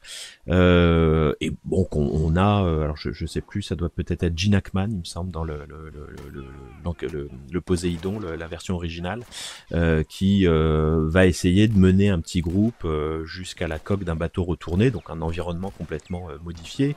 Euh, pour euh, pour pouvoir euh, sortir de, de là. C'est vrai que The, Last of Us emprunte aux deux. On, on a eu cette, cette, cette, cette, amorce. On est vraiment dans la, la pensée de la catastrophe, s'échapper, fuir le danger, etc. courir là où on peut aller. Et puis en effet, la, deuxième partie, depuis que on, on est euh, avec euh, avec Joël, plutôt tourné vers en effet cet environnement, euh, cet imaginaire apocalyptique, très utile d'un point de vue de production de jeux vidéo, parce que et là je pense à Alexandre, un de mes étudiants qui travaille sur le motif de la ruine dans les jeux vidéo. Évidemment, une des premières dimensions de la ruine, c'est que d'un point de vue utilitariste, elle se génère assez facilement, elle produit assez facilement des environnements, elle assure des environnements derrière lesquels, bah, précisément comme le fait Ronan là, on peut se euh, cacher sur, derrière des obstacles, derrière des éléments, euh, euh, avancer, progresser de, de, point en point. Donc là, le post-apocalyptique, il, il, il, offre une facilité de, de, de, de production, probablement une, enfin, il y a probablement des graphistes derrière qui disent, il rigole Blanchet quand même, ça, ça demande un travail évidemment hein, de, de direction artistique, etc. Mais qui peut, qui permettent de, de générer assez facilement des, des environnements. Hein. Vous avez vos éléments, vous les posez, vos carcasses de voitures, euh, etc. Et, vous arrivez assez euh, facilement à produire quelque chose bah, qui est de l'ordre un peu du, désordre organisé, euh, mais qui offre des potentialités intéressantes sur le rapport à l'espace, et de même qui est porteur d'un imaginaire. Bah, qui dans la période fin 20e siècle, début 21e siècle, avec euh, tout ce qui se passe en termes de contexte euh, euh environnemental, géopolitique, etc., fait sens, enfin euh, répond aussi à des, des, des, thèmes du commun des, des joueurs et, des joueuses, et donc voilà, trouve des, des échos dans l'actualité la, politique et géopolitique et environnementale. Alors Ronan, pardon, oui. Il y a aussi le fait qu'un des enjeux de la ruine, c'est la ruine des institutions aussi. Euh, The Last of Us est assez attaché à ça, à montrer euh, les grands bâtiments euh, référentiels du jeu. C'est toujours des bâtiments qui ont des symboliques assez fortes. Il faut rejoindre un hôpital, il faut rejoindre un musée, il faut rejoindre ce genre de, ce, genre de, de, de, de, lieux qui sont des lieux institutionnalisés. Ces lieux-là en ruine disent aussi quelque chose de, de, de la chute des cadres sociaux, en fait. Oui, et c'est vrai que les lieux qu'on a traversés, euh, c'est vraiment intéressant que, que, tu soulèves ça, euh, Maureen. C'est-à-dire que on, on j'ai l'impression qu'on a plutôt traversé des lieux qui étaient des commerces à l'abandon, qui étaient des entrepôts, qui étaient des, des lieux plutôt dans un premier temps euh, tournés vers l'activité euh, économique et montrer que le, capitalisme n'a pas survécu d'une certaine façon. Et c'est vrai que dans le, la, la, séquence là qui dans laquelle nous, nous, nous mène Ronan, on va en effet avoir ces, ces lieux plus plus institutionnels donc là aussi, euh, on, parcourt un peu les, les espaces de la, vie des hommes et ce qu'ils sont devenus après la, catastrophe. C'est d'ailleurs là qu'on voit le, génie de Naughty Dog en termes de game design, c'est que les, lieux sont extrêmement caractérisés et c'est ce qui a souvent fait hein, la valeur de leur travail, c'est que euh, les, espaces dépeints, les, éléments de décor, etc. sont toujours parlants. Il y a toujours quelque chose, un, détail, il y a un sens du détail en fait qui est très très fort dans leurs œuvres, euh, qui fait que ça ça caractérise, ça personnifie énormément les, décors qu'on arpente. C'est-à-dire que tous ces décors, au-delà d'être des, euh, lieux euh, régis par effectivement euh, la ludicité, donc le fait qu'il faut mettre des, endroits où on peut se cacher ou des choses comme ça, c'est aussi des lieux qui nous racontent la catastrophe et qui nous racontent quelque chose de, comme vous l'avez évoqué, hein, de la chute des institutions, etc. Et, et ça, ça court sur tout leur jeu. Hein. Les, les Uncharted sont aussi très forts là-dessus, c'est que parfois on peut juste s'arrêter dans un endroit du décor pour contempler un, bout de détail où on se dit mais ils ont passé des, lustres à composer ça et nous on passe à côté sans s'en apercevoir. Euh, c'est souvent la blague que je fais quand je, je, je parcours ces espaces. Je, dis, je, je, fais exprès de m'arrêter dans des lieux qui, qui, servent à rien, en disant mais ça, ça se trouve c'est un, un, petit stagiaire qui a fait ça et c'est tellement formidable que je préfère m'arrêter pour regarder et profiter de ce travail quoi. C'est ça, c'est un truc. Euh, regarde les, les, petites fleurs qu'on voit tout en, bas du cadre. C'est complètement mmh. inutile d'un point de vue narratif, mais c'est juste là pour caractériser le lieu, pour euh, lui donner corps, etc. C'est un travail absolument faramineux derrière. C'est extraordinaire. C'est des, des œuvres. Pour moi, c'est des œuvres artistiques au sens noble du terme quoi. Puis il y a, y a, vraiment des, des, moments très très film catastrophe. Hein, le, le, fait de marcher l'eau jusqu'à la taille là dans le, le conduit juste avant. Le, on va avoir un bras d'autoroute effondré. C'est euh, la submersion, c'est le tremblement de terre. On, on sent là vraiment qu'ils sont allés à l'épuiser dans toutes ces, euh, ces espaces et tous ces euh, toutes ces, ces, expériences, bon, avec des phénomènes là de progression, de se sortir, de, de fuir, de rejoindre un, un, endroit qui peut euh, faire avancer la, la, la situation pour eux. Euh, sur sur ce moment-là de, de, The Last of Us. Ouais. Soit en passant, il y a eu une charnière narrative qu'on n'a pas euh, commentée, qu'on on, l'avait annoncé et finalement elle est arrivée. C'est le moment où on découvre que le personnage d'Ellie a été infecté, mais qu'elle n'est pas soumise au, au, virus, enfin, et que finalement elle ne se transforme pas en infectée. Euh, et qui du coup fait comprendre que ça, elle devient un enjeu stratégique en quelque sorte, c'est-à-dire qu'est-ce qu'on va faire d'elle, comment est-ce qu'on va se servir d'elle en quelque sorte pour trouver éventuellement une solution pour l'humanité? Et c'est vrai qu'il y a quelque chose dont on n'a pas forcément encore parlé et qui m'a toujours questionné en fait euh, dès le moment où le jeu est sorti, le moment où je l'ai essayé la première fois, c'est de comprendre le titre de Last of Us. Je me suis toujours demandé à quoi ça renvoyait en fait. Est-ce que ça désigne Ellie, c'est-à-dire euh, la dernière d'entre nous Est-ce que ce serait effectivement parce que euh, elle peut survivre à la situation et du coup ce serait peut-être la dernière survivante en un sens d'un monde soumis à la catastrophe? Euh, Est-ce que The Last of Us c'est Joël avec ce questionnement sur cette humanité déliquescente qu'il véhicule? Ou est-ce que The Last of Us c'est un pluriel? Et que finalement on incarne les, derniers survivants en quelque sorte euh, euh, dans un monde post-apocalyptique. Et je pense que le, le sens du jeu n'est pas le même, et du coup le titre euh, est ouvert à plusieurs interprétations qui du coup dirigent, enfin impliquent le, regard du, du, joueur sur sur l'œuvre. Je sais pas si vous avez déjà réfléchi à ça. Le, titre, à votre avis, qu'est-ce qu'il signifie en fait? Pour moi, pour moi l'ambiguïté du titre, elle est dans ce singulier ou ce pluriel. Moi, je, je l'ai toujours plutôt interprété comme étant un pluriel. Euh, et aussi, ce qui est intéressant, c'est le US, qui est aussi le US mm. de United States. Ah. Euh, et euh, c'est le, jeu est aussi un commentaire là-dessus, hein, je trouve, sur sur les États-Unis, etc. et leur place dans la chute du monde. c'est un peu, il y a un peu le même jeu de mots dans le titre de la série This Is Us, qui est aussi mm. une radio, une radiographie de de, de la société américaine contemporaine. Donc, je trouve que c'est intéressant aussi de d'aller voir de ce côté-là du côté du, du, discours que le jeu produit là-dessus. Il y, a le fantôme d'une autre catastrophe aussi qu'on n'a pas évoqué, mais si Ronan peut juste pas noter un petit peu sur la façade. il y a le 11 septembre. Bah oui, bah et on, l'avait, on, l'avait dans la, la séquence de fuite euh, du départ dans la ville avec ces, ces mouvements de foule euh, euh, qui s'échappent, etc. Et puis là, vraiment, on a une, une façade qui évidemment renvoie au, aux tours jumelles de, de New York, avec cette tour qui s'est pas encore effondrée, qui semble tenir euh, telle une tour de, de Pise euh, et là là oui là là on sent le euh, évidemment que c'est un, un, référentiel aujourd'hui très commun hein, qui a c'est un jeu qui nous dit ça aussi hein, qui nous dit à quel point les États-Unis sont traumatisés par les catastrophes récentes de leur histoire hein, le, le, le 11 septembre étant la première la première du 21e siècle mais moi j'ai travaillé sur Katrina je reviendrai pas là-dessus parce que le, jeu est pas du tout dans cet espace du sud des États-Unis mais ça a aussi été une catastrophe qui, en termes visuels, a beaucoup, beaucoup traumatisé les, les États-Unis.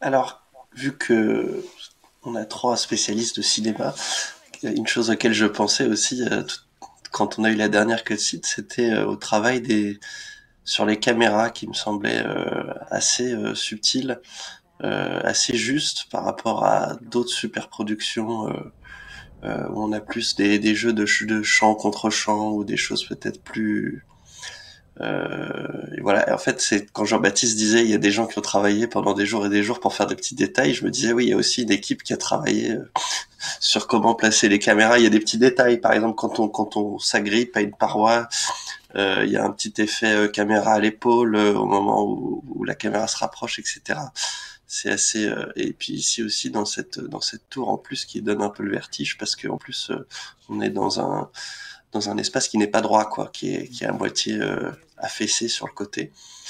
Moi je crois que la première fois que j'ai joué c'est la première fois que j'ai commencé à avoir un petit peu un petit peu peur. C'était ici. J'ai un petit peu peur que ça se casse la gueule Ouais, t'as, un décadrage qui est généré par l'environnement lui-même. Ça, c'est le, ça, c'est le coup de génie de ce, ce moment-là, quoi. C'est-à-dire que cette tour penchée euh, fait vaciller le cadre et un vacillement du cadre dans le, le film d'horreur, euh, c'est forcément un moment où il va se passer quelque chose où euh, euh t'es dans ce moment qui, qui prépare le choc de, euh, le choc de l'horreur. Hein. Donc là, c'est, c'est toutes des, stratégies d'anticipation qui vont te faire vivre l'horreur d'autant plus fort que tu l'as anticipé, donc que t'es en train de le, le craindre et, et l'attendre avec des voilà des objets qui bougent tout seuls. Là, on a cette chaise de bureau qui vient de bouger au moment où on arrive, les ombres projetées. Là, là vraiment, c'est un, feu d'artifice de toutes les manières de, de, produire l'horreur dans le, genre cinématographique. En termes de dramatisation de l'espace, c'est aussi une façon de dire que la catastrophe est toujours en cours, hein, puisqu'il y a cet effet de suspension par cette tour qui est en train de Mhm. s'écrouler, enfin qui est dans un mouvement de chute qui est à, à la fois arrêté et infini d'une certaine façon, et qui dit ça, qui dit que la catastrophe n'est jamais passée d'une certaine façon. Alors, il y a plusieurs personnes dans, dans le chat qui, euh, qui avaient une autre interprétation du titre, euh, qui disait euh, ce qu'il reste de nous euh, au sens euh, plutôt moral. Euh, même si je, je sais pas en anglais, ça serait What's left of us. Je suis pas linguiste. Euh, Ce serait, oui, Je sais pas si on peut le traduire comme ça mot à mot, mais je pense qu'en tout cas dans, dans l'idée ça, ça fonctionne. C'est The Last Part of Us, je sais pas comment on pourrait dire, effectivement, une dernière partie qui nous compose. Euh, Mais oui, pourquoi pas, c'est intéressant. Et on, et on convoque aussi dans le chat, c'est euh, Colin Yvon qui convoque euh, là plutôt le, le roman de science-fiction euh, Je suis une légende de Richard Madson, adapté trois fois au cinéma. Alors moi je connais pas du tout cette référence, je sais pas si vous la connaissez. Euh, La dernière adaptation, c'est le film avec euh, Will Smith qui jouait aussi, enfin qui avait, euh, quand le film est sorti, beaucoup parlé de ces espaces hybrides mi-urbains, mi-naturels, et euh, qui sont potentiellement une référence dans toute la gestion de qu'on voyait plus au début du jeu, de, de la- de la- de- du retour de la nature dans, dans, le, dans le- les espaces travaillés par l'homme, euh, etc. Et même au niveau des, on parlait tout à l'heure de la proximité de- des espaces urbains euh, désolés euh, en hauteur, euh, la proximité de la palette chromatique avec euh, le- la route de John Hillcoat. Euh, de la même façon, il y a une espèce de parenté chromatique comme ça entre ces espaces dorés, paisibles de la nature et la palette chromatique de la dernière adaptation de, de Je suis une légende.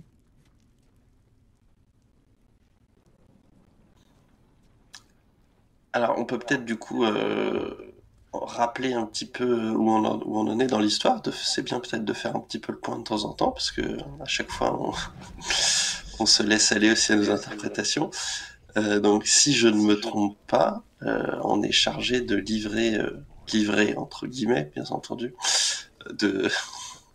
d'amener à bon port euh, Ellie. Et ce qui est un petit peu frappant, c'est que on apprend, on vient d'apprendre qu'elle avait été mordue et que donc elle pouvait se transformer euh, en, un, dangereux zombie. Et euh, tout, au long des, deux épisodes, ça va être souvent un ressort que des personnes infectées se, se, donnent la mort volontairement ou, ou se sacrifient euh, pour éviter d'être transformées. Euh, et là, en revanche, ce qui est un petit peu plus étonnant, c'est qu'ils semblent faire confiance à cette euh, petite fille. Ils n'ont pas trop remis en question son, son histoire. Euh, mais parce que le personnage de Tess, si je me trompe pas, dit à Joël, mais il faut... et si c'était vrai? Voilà, Elle, elle Ouais. préfère y croire en fait concrètement. Il y a un décalage. Joël au départ est pas d'accord. hein. Je crois qu'il dit non, il faut la supprimer ou la laisser. Je sais plus ce qu'il lui dit. Et Tess lui- le, le convainc en fait hein, que il faut avoir un espoir en fait dans, quelque chose. Euh, ce qui montre bien là encore le décalage entre les deux personnages. Un personnage qui est fondamentalement nihiliste, qui ne croit plus en rien et qui va progressivement apprendre à, croire, et euh, des personnages qui eux y croient véritablement et qui vont euh, progressivement aussi arrêter d'y croire en quelque sorte. hein. Il y a tout un passage où Ellie ne croit plus en réalité à l'espoir dont elle est porteuse. Presque référence à Jurassic Park ici, hein, sur le, le fait de se cacher comme ça devant une, euh, une menace et d'essayer de l'éloigner. Mais euh, voilà, bah, de, toute, la, toute la préparation de, cette, euh, de ce surgissement qui est encore un peu, un peu lointain, un peu coupé. Hein, on n'est pas dans une monstration totale. Et puis évidemment, ça va se révéler si on s'approche trop ou si le l'invité euh, nous le claqueur, puisque c'est le nom qu'on leur donne dans ce dans ce jeu, nous nous agresse et nous saute au cou, là, ce qui donnera lieu à une petite euh, euh, séquence de rapidité euh, pour pouvoir s'en dégager.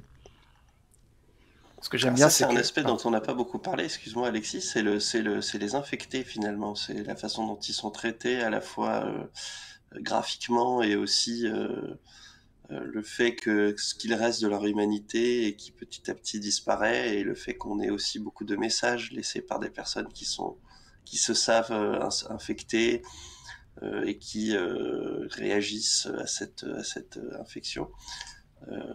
alors, je suis pas du tout, pour ma part, spécialiste du, film de zombies ou de, l'esthétique zombie, mais il me semble que c'est quand même un petit peu original. C'est pas forcément le zombie de base qu'on a ici, ou, peut-être que je me trompe, je sais pas.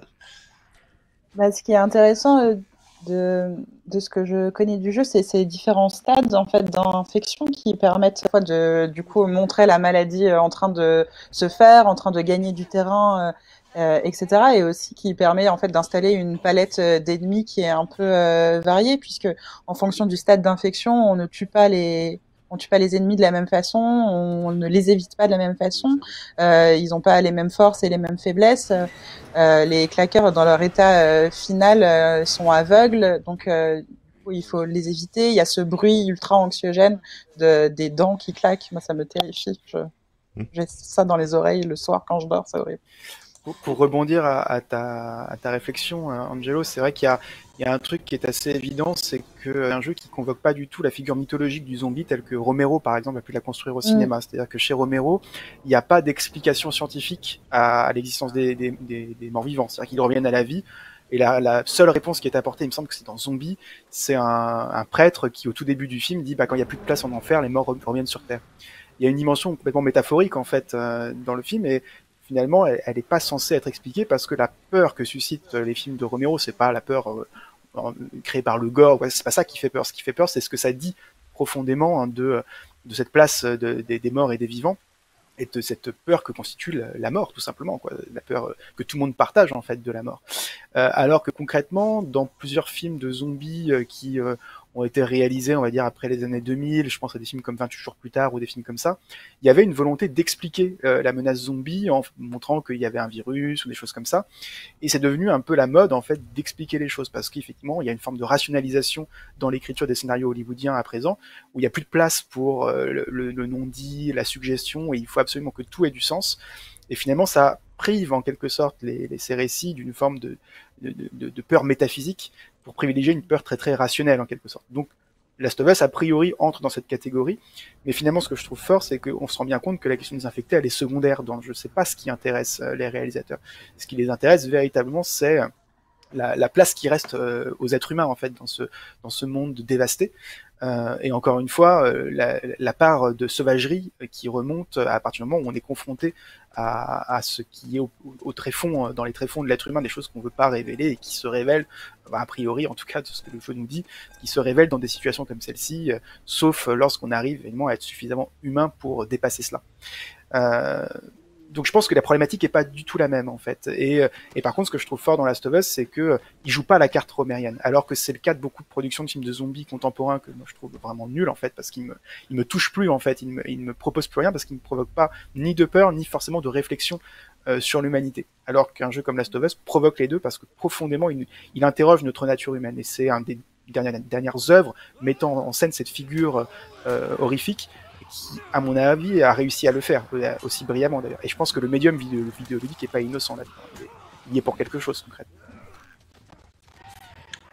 Alors, on voit un Ronan en, pas en difficulté, mais en tout cas euh, qui affronte un challenge plus, plus, relevé. plus corsé que d'habitude. Et, euh, et, on voit aussi euh, bah, que que tu es plutôt un joueur de beat'em all, Ronan, a priori, tu, tu privilégies pas forcément l'infiltration. Alors, c'est le concept de l'infiltration. C'est je m'infiltre jusqu'à ce que je me fasse voir. voilà. Et après, ça devient de l'action. Voilà, c'est une stratégie de jeu. Euh, juste pour revenir, il y avait un jeu qui était un peu post-apo, alors qui n'est pas forcément complètement réussi, mais qui, qui fonctionne pas si mal, c'est Mad Max. Euh, qui reprenait des mécaniques de, de, de, l'univers de Mad Max et qui était vraiment euh, dans, dans, entre la catastrophe et le post-apo, euh, je pense. Mais, mais voilà. Mais effectivement, je, je, je pense qu'il y a moyen quand même de faire des jeux, des jeux catastrophes un peu à la, à la Daylight euh, ou ce genre de choses euh, pourrait, pourrait fonctionner. Je pensais aussi, euh, alors c'est un peu dans un, autre, euh, dans un autre modèle qui est un mélange de post-apo et de catastrophe, euh, et au survival horror, c'est Alien Isolation. je ne sais pas si vous avez eu l'occasion d'y jouer, mais on se retrouve dans un film catastrophe d'horreur en fait, parce que c'est une catastrophe dans une station spatiale qui est l'alien, hein, qui nous provoque ça, mais on est dans, après dans une instantanéité, dans un dans un sus. Le, jeu est quasiment linéaire dans sa, dans sa narration, il n'y a quasiment pas de, d'ellipse. et, et, nous met vraiment dans ce temps de la catastrophe au sein de, du survival horror. Alors, vu que vu qu'on a Ronan c'est disponible, on peut aussi euh, faire remarquer euh, qu'il y a différentes façons de jouer en fait aussi à ce jeu. Hein. Finalement, enfin au moins deux, euh, voire peut-être trois. Il y a quand on s'infiltre et qu'on essaye d'être le plus discret possible, et on n'est pas forcément toujours obligé de, de tuer tout le monde. Ça dépend. Je crois qu'il y a des séquences où il faut sans doute vider l'espace des ennemis et d'autres non. Euh, on peut aussi euh, y jouer plus comme un jeu de tir, un peu exigeant parce que c'est plutôt limité en termes de munitions. Euh, et puis même indirectement, on peut jouer plutôt vite et suivre l'histoire, et on peut aussi passer énormément de temps à trouver des petits objets cachés, des petits messages cachés. Il y a différentes. Moi, j'ai l'impression que l'exercice montre qu'il y a déjà un petit peu un choix ici de la part de Ronan. Il y a, il y a aussi autre chose qui est extrêmement important dans, dans The Last of Us en particulier, c'est le choix de la difficulté. Euh, d'ailleurs, ils ont renommé dans Last of Us 2 le facile en mode plutôt euh, j'aime les histoires. En fait, ils décrivent pas le, jeu vidéo à travers un niveau de difficulté, mais plus la façon dont on veut l'expérimenter. et on va de j'ai envie d'avoir une histoire à réaliste. Euh, ce que je trouve assez intéressant aussi, c'est que vraiment ça peut conditionner la façon dont vous souhaitez expérimenter le, jeu. Mais il n'y a pas de bonne façon ou de mauvaise façon de jouer. C'est pas, disent pas euh, parce que tu joues en mode facile, euh, t'es pas un vrai joueur. C'est pas du tout ce que sous-entend le, jeu. C'est plus la façon dont on a envie de, vivre l'expérience. Pour rebondir un peu sur ce que disait Ronan euh, à l'instant, aussi sur la question du jeu catastrophe, et pour rebondir un peu sur ce qu'on disait tout à l'heure, en y réfléchissant, je me dis qu'il y a quand même un truc assez intéressant avec avec notre, c'est que finalement leur jeu pré Last of Us en Uncharted, convoquait en quelque sorte une forme de gameplay que pourrait être un gameplay de jeu catastrophe. Parce que dans Uncharted, qu'est-ce qui se passe? C'est un personnage qui est dans des endroits euh, qui sont fragilisés par le temps et qui s'effondre sous ses pieds constamment. C'est-à-dire que c'est un mm. personnage qui, laisse, qui ne laisse que des ruines derrière lui. Et tout, euh, tout le principe. Euh, c'est ça, mais c'est même plus en fait que les Tomb Raider, où là pour le coup c'est lui qui. Dé... Enfin, je crois que Tomb Raider aussi, vous direz. mais là, la, mise en scène, en fait, la spectacularité de, de la dévastation des lieux est essentielle dans le plaisir entre guillemets visuel hein, qu'on prend avec les, les, Uncharted parce que ça renforce cette dimension spectaculaire du film d'action euh, avec un, décor qui se qui se ruine en direct en fait et on échappe effectivement à, la destruction des espaces, à, aux, lieux qui brûlent, qui s'effondrent sous nos pieds, etc. Et métaphoriquement, ça donne vraiment l'impression, alors je, je, tire un peu les choses par les cheveux, euh, mais ça donne vraiment l'impression que Last of Us est la continuité logique en quelque sorte d'Uncharted d'un point de vue d'un point de vue thématique chez euh, Naughty Dog, c'est que on, dans Last of Us, on, on, joue en fait dans les ruines que Nathan Drake a laissé derrière lui en quelque sorte. Il y a un truc assez amusant dans la progression du, du, euh, du studio en fait, dans, dans l'approche du game design quoi. Mm. J'avoue, c'est une, une, belle filiation. Mm. Euh, Caracol euh, fait remarquer toujours dans le chat que les modes de difficulté euh, dits euh, narratifs où on va se focaliser sur l'histoire sont, sont peut-être une façon d'essayer d'amener un autre public aussi vers les, vers les jeux vidéo, un public moins, moins joueur. Je sais pas ce que vous en pensez. Oui, bien sûr. Je, pense qu'il y a un effet aussi de, de, vieillissement du public. Moi, je me rappelle d'un journal spécialisé euh, qui, euh, à la sortie d'Uncharted 4, me dit mais euh, moi, j'y arrive plus en fait à, à m'intéresser à ce, à ce genre de jeu. Pourquoi Je dis mais je peux pas t'apporter de réponse. Mais il y en a une, c'est probablement que tu vieillis quoi, et qu'il y a, un moment, il y a certains registres d'action qui te qui te paraissent plus vains, dans lesquels t'arrives plus à te euh, à te à te mettre. Moi-même, pour avoir rejoué la, à la séquence que, que Ronan nous joue là, j'avoue que je, je, je, préfère explorer, chercher un passage, etc., plutôt que d'affronter euh, euh euh, soit les claqueurs, enfin quoi que les claqueurs en effet, euh, euh, comme quelqu'un le précisait tout à l'heure, qui réagissent simplement au son, ça donne quand même des séquences de où il faut se déplacer lentement. Donc ça, moi, ça correspond plus à des choses. Je, je, je manque de skill en vieillissant, bah oui, et, et forcément, je, je, vais plutôt craindre ce type de ce type de de, de séquence.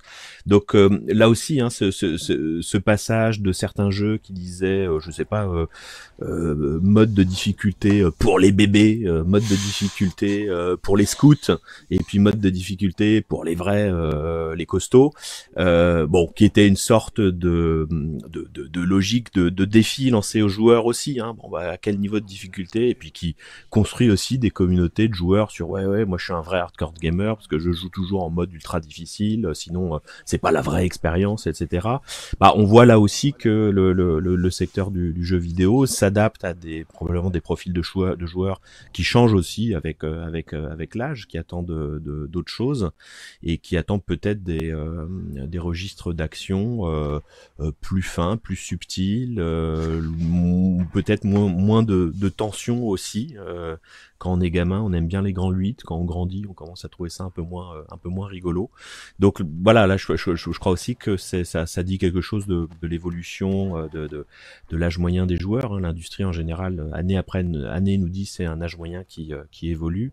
Euh, repartant de ce que Nintendo of America a fait du jeu vidéo dans les années 80 en le, le concentrant sur un public d'enfants et, et d'adolescents et, et, probablement que ça, ça dit cette évolution du, du secteur ouais ça dit aussi une évolution par rapport à ce dont on perçoit les jeux, c'est-à-dire que de plus en plus, et euh, des, endroits comme Twitch ou autres en témoignent, hein, c'est aussi un autre plaisir de joueur qui est de regarder les jeux, euh, et donc de pas prendre part véritablement à l'action, mais euh, voilà, d'en être juste le spectateur, parce qu'effectivement c'est le récit qui les intéresse et pas forcément le gameplay parce qu'ils se sentent pas les armes pour le faire parce qu'ils maîtrisent pas tout simplement.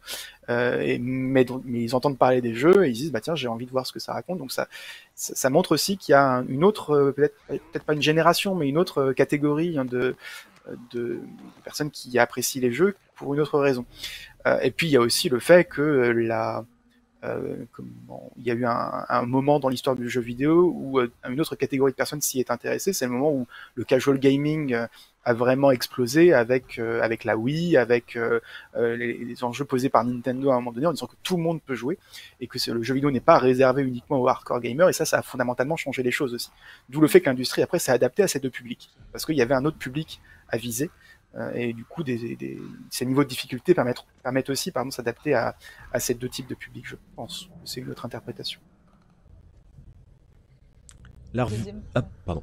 pardon. Vas-y, Maurice. De démocratisation, et puis c'est intéressant aussi de signaler ça. Moi, historiquement, je suis pas joueuse du tout. En revanche, j'habite avec mon frère qui joue beaucoup.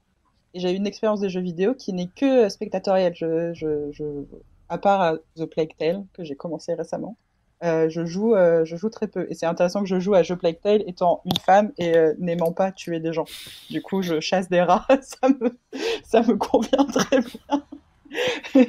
Mais du coup, oui, en fait, quand on a cette expérience-là du, du, spectacle du jeu et non pas du jeu lui-même, pas tellement les niveaux de difficulté, mais en tout cas le type de jeu euh, auquel on assiste d'une certaine façon.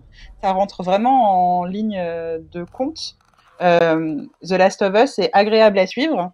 Euh, Bloodborne, c'est un calvaire, par exemple. Parce que euh, dans Bloodborne, il n'y a pas d'histoire, ou très peu, en tout cas on n'y comprend pas grand-chose, et il faut juste tuer des choses, et ça fait beaucoup de bruit, et en plus on meurt tout le temps. Et du coup, à regarder, c'est extrêmement euh, laborieux en fait d'assister à ça. Alors que dans The Last of Us, il y a un suivi euh, narratif qui est presque de l'ordre de celui de la série télévisée d'une certaine façon on est avec des personnages pendant très longtemps. C'est une écriture scénaristique qui ressemble, euh, qui ressemble à ça. C'est un temps de jeu. On est sur 10-15 heures. C'est l'équivalent d'une saison de série télévisée, etc. Bref, il y a une parenté qui est assez forte. Et d'autant plus que le jeu, on, ce qu'on disait tout à l'heure sur les caméras, sur le point de vue, sur l'engagement émotionnel, même sur le, la convocation de, de, de, de visages qui ressemblent à des acteurs connus, il y a quelque chose de très cinématographique aussi. Euh, qui fait que le jeu se, peut se suivre comme un film. Le rapport à la série est super intéressant hein, parce que c'est vrai que non seulement il y a la dimension géographique, mais il y a aussi le fait que le, jeu est construit comme une succession de moments qui sont autant d'épisodes en fait. Euh, C'est-à-dire que le, le, jeu pourrait être subdivisé comme une mini-série mini avec plusieurs moments qui sont des rencontres en fait avec des, des couples ou des personnages euh, qui à chaque fois nous, nous, font part ou explorent une facette de l'âme humaine en quelque sorte. Euh, et du coup, euh, ce qui est intéressant, c'est que The Last of Us n'est pas construit en niveau comme certains des jeux vidéo hein, de, de, certaines époques étaient construits avec des, des, niveaux, niveau 1, niveau 2, avec des stages, hein, stage 1, stage 2, etc. Là, pour le coup, euh, c'est pas tant des niveaux que des épisodes euh, narratifs euh, qui font évoluer euh, le binôme, euh, le duo du jeu, et qui également dépeignent plusieurs aspects de la société américaine post post catastrophe.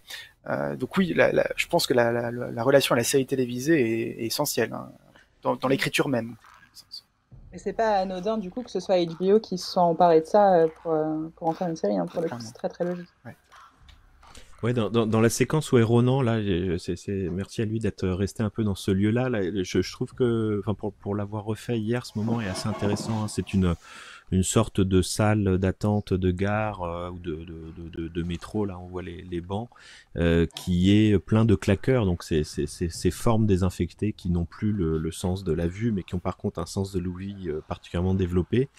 Et, et, en effet, ça, ça, ça, oblige à se déplacer avec beaucoup de, de précautions, avec une tension qui est tout à fait euh, tout à fait palpable, euh, qui est celle évidemment de pas déclencher un, un événement trop sonore euh, qui attirerait euh, qui attirerait l'ensemble. Et je, je, trouve que c'est une voilà une manière tout à fait maligne de s'extraire un petit peu du third person shooter qui était typiquement le, le genre de séquence qu'on a eu dans la au moment du port là au début de notre diffusion pour essayer de, de, penser des choses un peu plus un peu plus fines, d'utiliser des éléments pour aller faire du bruit ailleurs et pour éloigner, là, bah, c'est probablement ce que Ronan va essayer de faire, donc récupérer une, bouteille ou un élément euh, qui jonche le sol euh, pour euh, emmener les, claqueurs à, se, rendre ailleurs, voilà, et à suivre l'origine du, du bruit.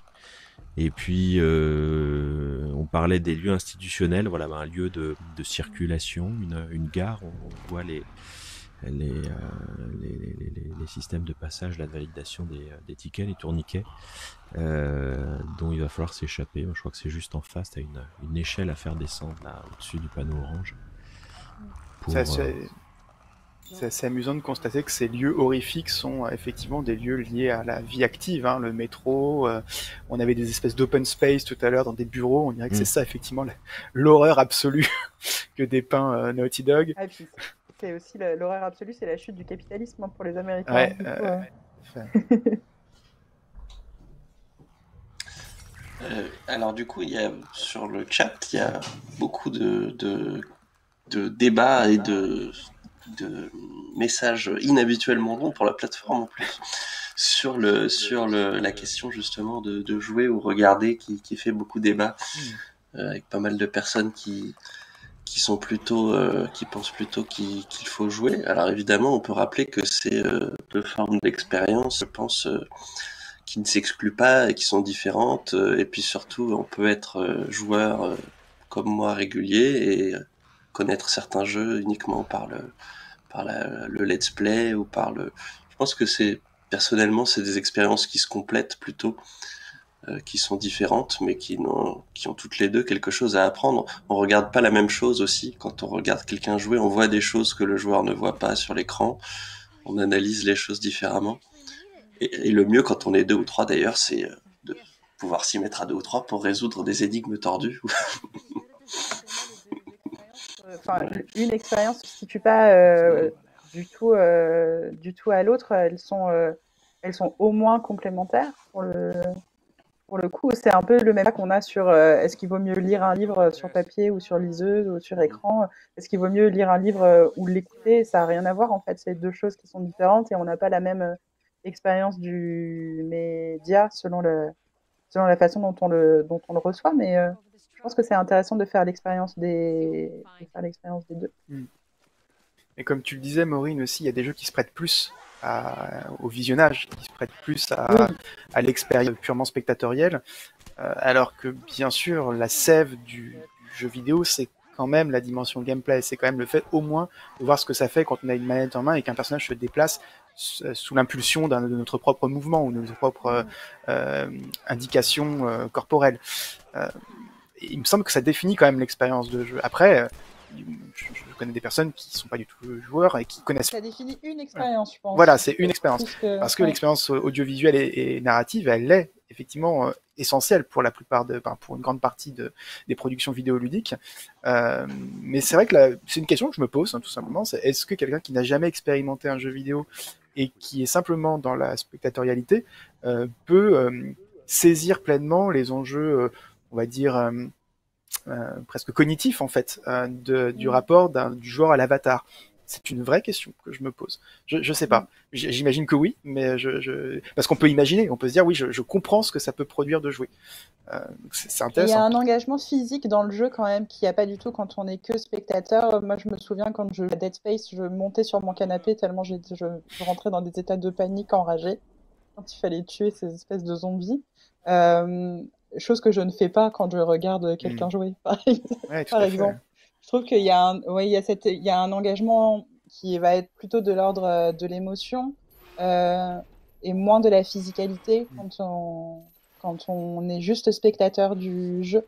Mais euh, dans l'expérience, enfin, dans les temps de jeu eux-mêmes, il y a, euh, je trouve que ça se sent quand même qu'il y a une complémentarité assez forte. Moi, quand je suis juste spectatrice, euh, et que mon frère joue, en général, il est très concentré parce qu'il, sur ce qu'il est en train de faire et il ne sait pas toujours ce qui se passe. Et du hmm. coup, il me demande, il se passe quoi là? Où est-ce qu'on en est? Machin, etc. Et du coup, je suis un peu le hmm. relais euh, scénaristique, en fait. Alors même que, et moi-même, quand les peu de fois où je joue, je suis vraiment un bébé joueur, enfin, je suis une vraie noob pour ça. Euh, je trouve que c'est hyper difficile de suivre les deux. Ça demande une acuité qui est, euh, qui est, ouais, qui est assez forte, etc. C'est des façons de, c'est des façons de, de, de, de, diviser son attention qui, qui s'apprennent. Enfin, à, jouer, ça pour le coup, ça c'est pas du tout inné, ça s'apprend, euh, je trouve, de, de, enfin, très franchement, quand on a une manette entre les mains, on s'en on, on s'en rend compte et on ne vit pas du tout les jeux de la même façon. Euh, moi, par exemple, je suis très nulle pour voir ce qu'il faut faire. Je, je, ne sais pas analyser l'image, les cadres de jeu, etc. Ça me demande un temps euh, qui est infini par rapport à ce que ça demande à quelqu'un qui est un joueur un peu aguerri. Donc, euh, c'est un apprentissage, mais comme euh, n'importe quel type d'image, on apprend à analyser un film. On, ne sait pas analyser un film avant d'avoir euh, appris comment le faire. C'est pareil, je pense. Alors quelque chose qui est revenu plusieurs fois que j'avais un peu noté mais laissé passer et qui revient dans le dans le chat, c'est la question du son qu'on nous qu'on nous implore de traiter. Euh, on a parlé des claqueurs un peu. du coup, effectivement. Euh... ouais, alors euh, euh, moi je, je, je l'entends pas très bien là sur la rediffusion, mais euh, dans la dans la séquence de l'immeuble, je trouve qu'il y y a un travail tout à fait intéressant entre ce qu'on appelle l'extradiégétique et l'intradiégétique, c'est-à-dire qu'il y a une espèce de confusion à un moment sur des bruits qui sont des bruits de grincement, de vibration, qui en fait peuvent être des bruits euh, du monde du jeu, donc intradiégétiques, euh, qui sont ceux de ce bâtiment qui est en train de, de vaciller. Et en même temps, il y a une musicalité de ces vibrations et de ces grincements qui en ferait presque des nappes un peu sonores euh, comme dans une, une, une, création sonore euh, particulière, composée, etc. je trouve qu'il y, a des, il y a des choses assez, assez intéressantes à, à, ce niveau-là, là, dans le traitement du, du son. Et je pense que ceux qui nous, nous regardent sur Twitch doivent avoir, doivent avoir une bonne, une bonne restitution du, du, son et Prosper a dû mettre le, le niveau là pour qu'on entende bien. mais je, je, sais que ça m'a, voilà, ça m'a frappé hier cette, ce, ce travail hein, qui, qui est aussi sur une forme de confusion Est-ce que c'est le, le monde du jeu qui produit le son ou est-ce que c'est un travail qui s'y euh, superpose euh, et ça voilà ça, ça, ça, donne des sensations qui je trouve sont assez euh, réussies à ce niveau-là. C'est intéressant aussi que les traces de la catastrophe se soient déplacées sur le sur le plan sonore. Ça a fait écho aussi à ce qu'on disait en introduction sur le fait que les catastrophes euh, contemporaines, modernes sont difficiles à représenter. Euh, c'est des images qui sont difficiles à convoquer, qu'on ne sait pas trop, euh, on sait pas trop quoi montrer d'une certaine façon. Donc là, on, ce qu'on voit depuis tout à l'heure, c'est que ce qu'on voit, c'est moins la catastrophe en elle-même que ce qu'il reste d'elle, donc les traces de la catastrophe, les ruines, etc. en revanche, les claqueurs se signalent avant tout en fait, euh, sur le plan euh, sur le plan sonore, il y a un travail sur la texture sonore qui est euh, qui est très très abouti et c'est intéressant en fait de voir que le son se substitue en fait presque à l'image dans le cas de ces résidus-là de la catastrophe. Oui, il y a quelque chose aussi qui est lié à la, à la mise en son, c'est-à-dire que euh, on sait bien qu'un jeu vidéo repose sur des univers virtuels qui ne sont pas déterminés par un cadre préétabli. concrètement, l'espace le, et, et les personnages sont euh, intégralement conçus virtuellement en trois dimensions. C'est-à-dire qu'on peut poser un regard, le regard que l'on souhaite poser en fait avec la, la manette, en gros, pour euh, ou, la souris hein, pour se déplacer autour du personnage, par exemple, ou autour du décor. Ce que fait euh, Ronan clairement hein, depuis le début du jeu. Hein, il, déplace le personnage, mais aussi simultanément la caméra.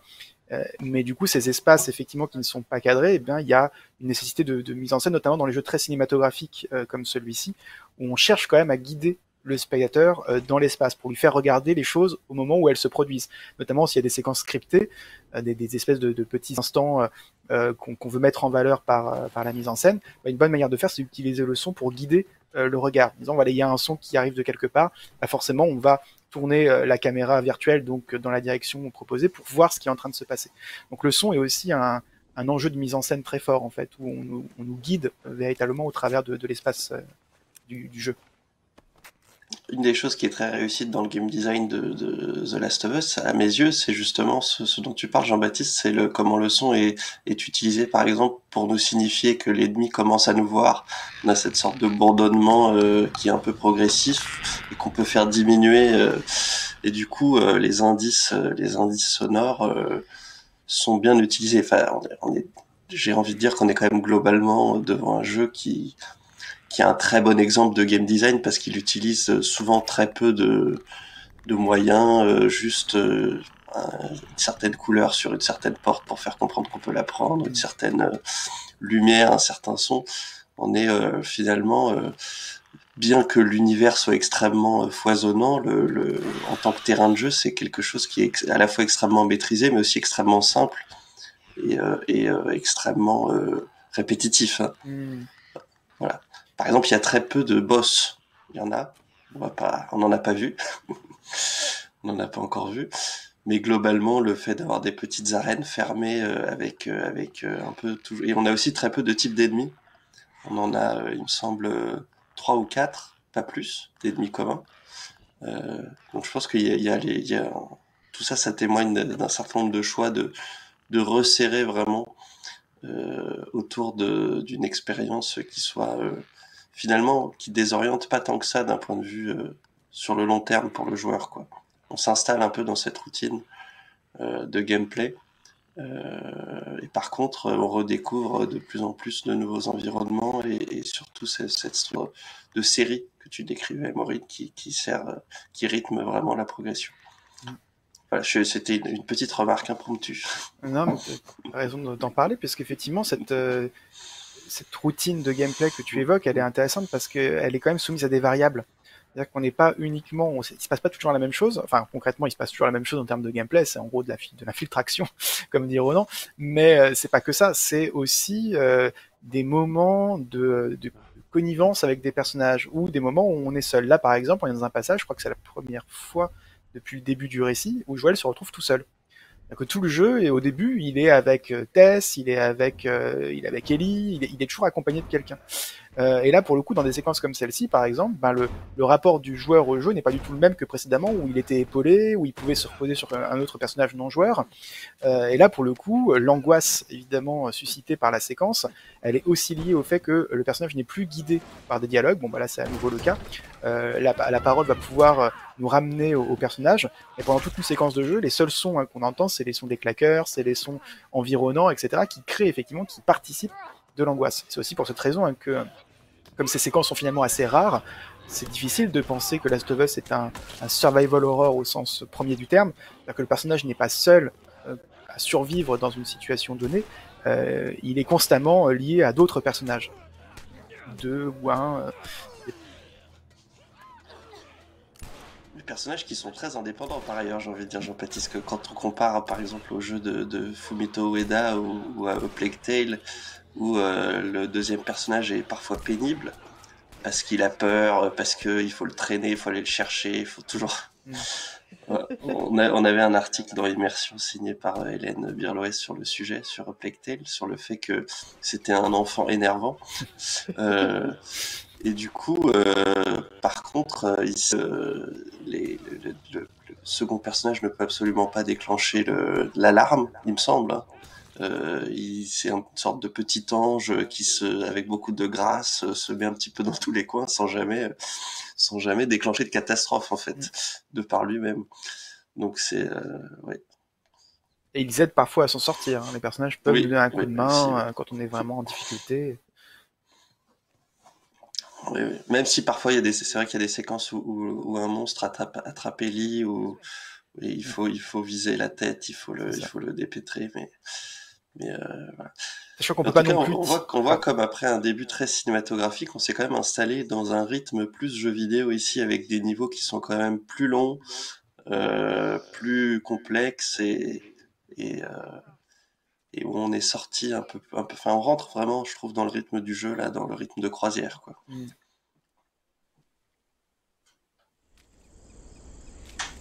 On est sorti de la nuit aussi. Oui, c'est l'aube. Donne lieu à des atmosphères un peu différentes, un peu plus apaisées après le moment assez euh, morceau de bravoure assez fort là que Ronan a traversé puisque il y a de multiples agresseurs dont, dont, il fallait se dépêtrer. Et puis évidemment ce dôme doré là-bas qui, qui s'impose dans le regard euh, comme le l'objectif à atteindre le, le fameux Capitole.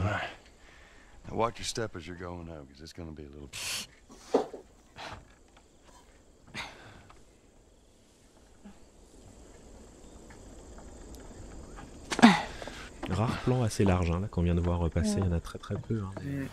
grands plans d'ensemble comme ça. on est toujours très près des visages, hein, c'est assez, assez rare les plans qui, dévoilent la ville, dans les cinématiques du moins. Mm. Ou un, des demi-plans d'ensemble comme ça, c'est-à-dire qu'on on intègre les personnages au premier plan et puis on a un peu plus de profondeur de champ, mais c'est vrai que on n'est pas dans ces jeux qui jouent plus sur des effets de gigantisme. Alors c'est vrai que c'était aussi beaucoup le, plutôt euh, quand on avait la 3D précalculée de l'époque PlayStation, euh, les fameuses vues euh, impossibles de haut sur, de, sur, des, sur des lieux, des décors assez, assez beaux et oniriques mais fixes, et, et, on avait le personnage minuscule. On a très souvent ça dans Final Fantasy VII, Final Fantasy VIII. Et ici, au contraire, on est vraiment toujours très proche des, personnages. Ce qui est logique aussi d'un point de vue industriel, c'est-à-dire que la technologie utilisée sur le jeu, bah, il faut la mettre en valeur, on l'utilise pas pour rien. on est avec de la performance capture, bah, du coup on va filmer les visages de près. Enfin, c'est assez logique, on va pas faire des plans d'ensemble euh, s'il faut mettre en valeur la technique qui coûte très très cher à utiliser sur le jeu. Très pragmatique, mais c'est une réalité c'est comme les producteurs qui demandaient à ce que les, décors construits soient, soient utilisés dans les films, ça a coûté des sous et il fallait en mettre plein la vue. Ouais, c'est, ça se situe à des échelles de plans différentes, mais ça, ça en revient à peu près au, même. Il faudrait demander à Ronan, qui était spécialiste plutôt de, speedrun des out of bounds. Je ne sais pas si, si The Last of Us, on a beaucoup de zones accessibles où on n'est pas censé aller, où on voit des modèles abandonnés euh, qui n'ont pas été euh. utilisés, des, des raccourcis. Je connais pas du tout. Je sais que les jeux, je crois que The Last of Us a des out of bound qui te permettent effectivement de, sortir et en gros de faire le jeu en parallèle, quoi, ce qui t'évite bien des soucis. Euh, mais c'est, je crois qu'on avait évoqué avec euh, avec Yann, donc avec euh, CDV à l'époque, et je crois qu'on n'avait pas sélectionné Last of Us alors qu'on avait adoré le jeu et qu'on aurait bien voulu. Mais les jeux de ce type, en fait, hein, se prêtent très très mal à la pratique du speedrun en fin de compte. Mm. Donc euh, c'est vrai que c'est un peu, euh, un peu ennuyeux parce que c'est très linéaire justement, euh, avec beaucoup de cinématiques, avec beaucoup d'éléments et avec en fait assez peu de gameplay ou alors un peu tout le temps le même, c'est-à-dire bah, je vais courir et éviter les, les soucis hein, plutôt que de me battre, ça fait perdre du temps. Donc c'est pas des speedruns ni très pratiqués ni très intéressants, je pense. Et c'est peut-être le seul défaut que je pourrais trouver à ces jeux, c'est de ne pas inviter à une telle liberté de gameplay en fait. Euh, certes, vous pouvez choisir dans ce que le jeu a décidé de choisir pour vous, mais vous ne ferez pas ce que vous voulez, vous n'en ferez pas autre chose que l'expérience qui a quand même été très euh, orientée et définie par les, game designers, par les créateurs. Hein, mais c'est tout à fait aussi à leur honneur, parce qu'ils ont voulu faire quelque chose de très, euh, de, très riche dans, dans, la construction de l'univers. Ils ont décidé de vous allez, vous allez l'expérimenter quand même très fortement comme ils ont souhaité que vous le que, que, vous l'expérimentiez d'une certaine manière. Et bon, ça se prête pas à la liberté du gameplay la plus totale, hein, comme on a pu voir dans, dans plein d'autres jeux par la suite. Quoi. Alors, euh, on, va s'approcher tout doucement de la fin de cette émission, même s'il nous reste euh, quelques minutes. Euh, donc, c'est évidemment le moment pour les personnes qui, souhaitaient poser une question, mais qui trouvaient que c'était jamais le bon moment d'avoir de, une, une, dernière chance.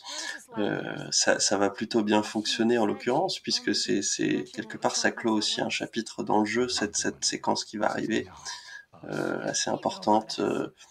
Et euh, je sais pas si on va pouvoir l'avoir en entier. Je me souviens plus exactement de combien de temps ça dure, mais c'est le moment où c'est possible. Hein, ça durera pas un quart d'heure au total. Hein.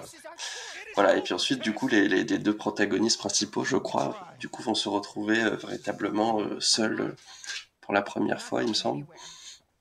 Et du coup, ça va être le schéma qui va se mettre en place et qui, qui va durer jusqu'à la fin.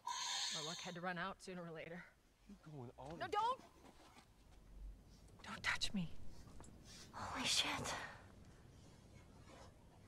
She's infected. Joel. Let me see. I didn't mean for this. Show it to me.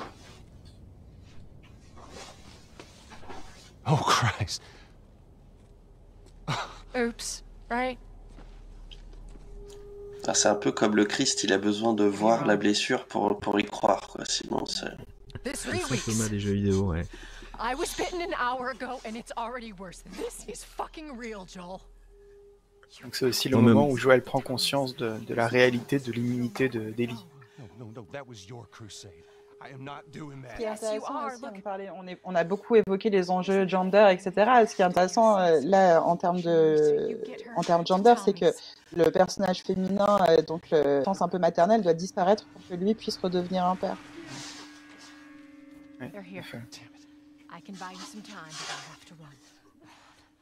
Ce qui va prendre du temps, donc je me souviens plus, euh, j'ai pas refait l'entièreté du jeu pour préparer cette émission, juste le, je suis arrivé jusqu'ici à peu près. Euh, mais c'est finalement euh, il y a des ellipses avant que que Joel devienne quand même plus affectueux. ça, ça, met un certain temps à se mettre en ah, place, ça met, Ça met toujours du temps. C'est tout l'enjeu principal du récit d'ailleurs. Hein. C'est-à-dire que finalement, le moment où il assume sa, sa position de, de, père, de substitution pour Ellie, c'est ça arrive dans le dernier quart du jeu, si je dis pas de bêtises. On est vraiment sur la fin, quoi.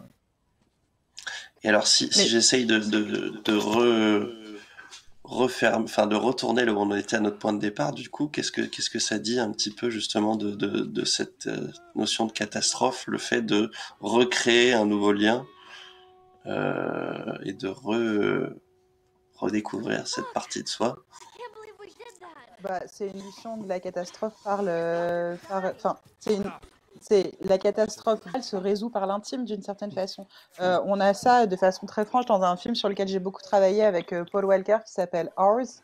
C'est un film qui raconte euh, l'histoire d'un d'un homme dont la femme accouche dans un hôpital le, la nuit de Katrina et forcément elle meurt en couche. Et du coup, il se retrouve tout seul avec son nouveau-né à devoir s'en occuper. Euh, la gamine qui vient de naître est, branchée sur un respirateur et du coup, ils peuvent pas l'évacuer, euh, etc. Enfin bref, et du coup, on a vraiment une hybridation des deux catastrophes. La catastrophe euh, américaine institutionnelle, politique et même naturelle qui se joue à l'extérieur de l'hôpital, et la catastrophe intime du héros, qui est celle de la perte de sa femme, et en même temps le chamboulement qu'est de devoir devenir père dans ce, dans ce contexte. Et en fait, tout le film est un apprentissage de la paternité, en gros. Euh, et à la fin du film, une fois qu'il a compris ça, euh, ce qu'était qu'avoir la responsabilité d'un enfant, il peut sortir de l'hôpital et euh, la catastrophe est terminée, le film s'achève. Là, c'est un peu le, c'est un peu le même, euh, le même schéma d'une certaine façon. C'est résoudre la catastrophe, le traumatisme institutionnel ou le traumatisme de la catastrophe globale par la réparation de la blessure intime. Je suis tout à fait d'accord. C'est ce qu'on a l'impression aussi de vivre parfois euh, en ce moment. les gens se replient beaucoup sur une réflexion personnelle qui est pas forcément une remise en cause, mais en tout cas sur se pose un peu plus des enfin on, entend beaucoup de témoignages de personnes qui sont très préoccupées par euh, par, les proches. On voit là, par exemple, le, le, le, traumatisme à venir, euh, de, de, c'est le, le, fait de devoir annuler Noël avec nos proches. Ça nous traumatise plus que, que le Covid en lui-même. On est plus triste de ça. Je trouve que c'est intéressant, ça dit quelque chose. Il y a encore un peu d'espoir, non?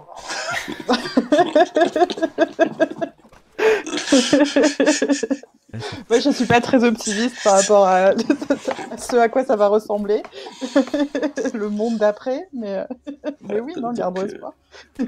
Comme cette émission va se retrouver en VOD et, je l'espère soumise à une longue vie sur, euh, sur YouTube ou, ailleurs, il faut préciser à nos spectateurs dans le futur que nous, euh, nous enregistrons en live cette émission depuis des situations, une situation un peu particulière. Euh, voilà, qu'on trouvera peut-être euh, étonnante dans quelques années ou qu'on aura peut-être complètement oublié ce que ça fait. On verra. Dans quelques années, il y aura des claqueurs partout dans les rues. On ne sait pas ce que va faire le vaccin Covid qu'ils ont trouvé en six mois. On ne sait pas.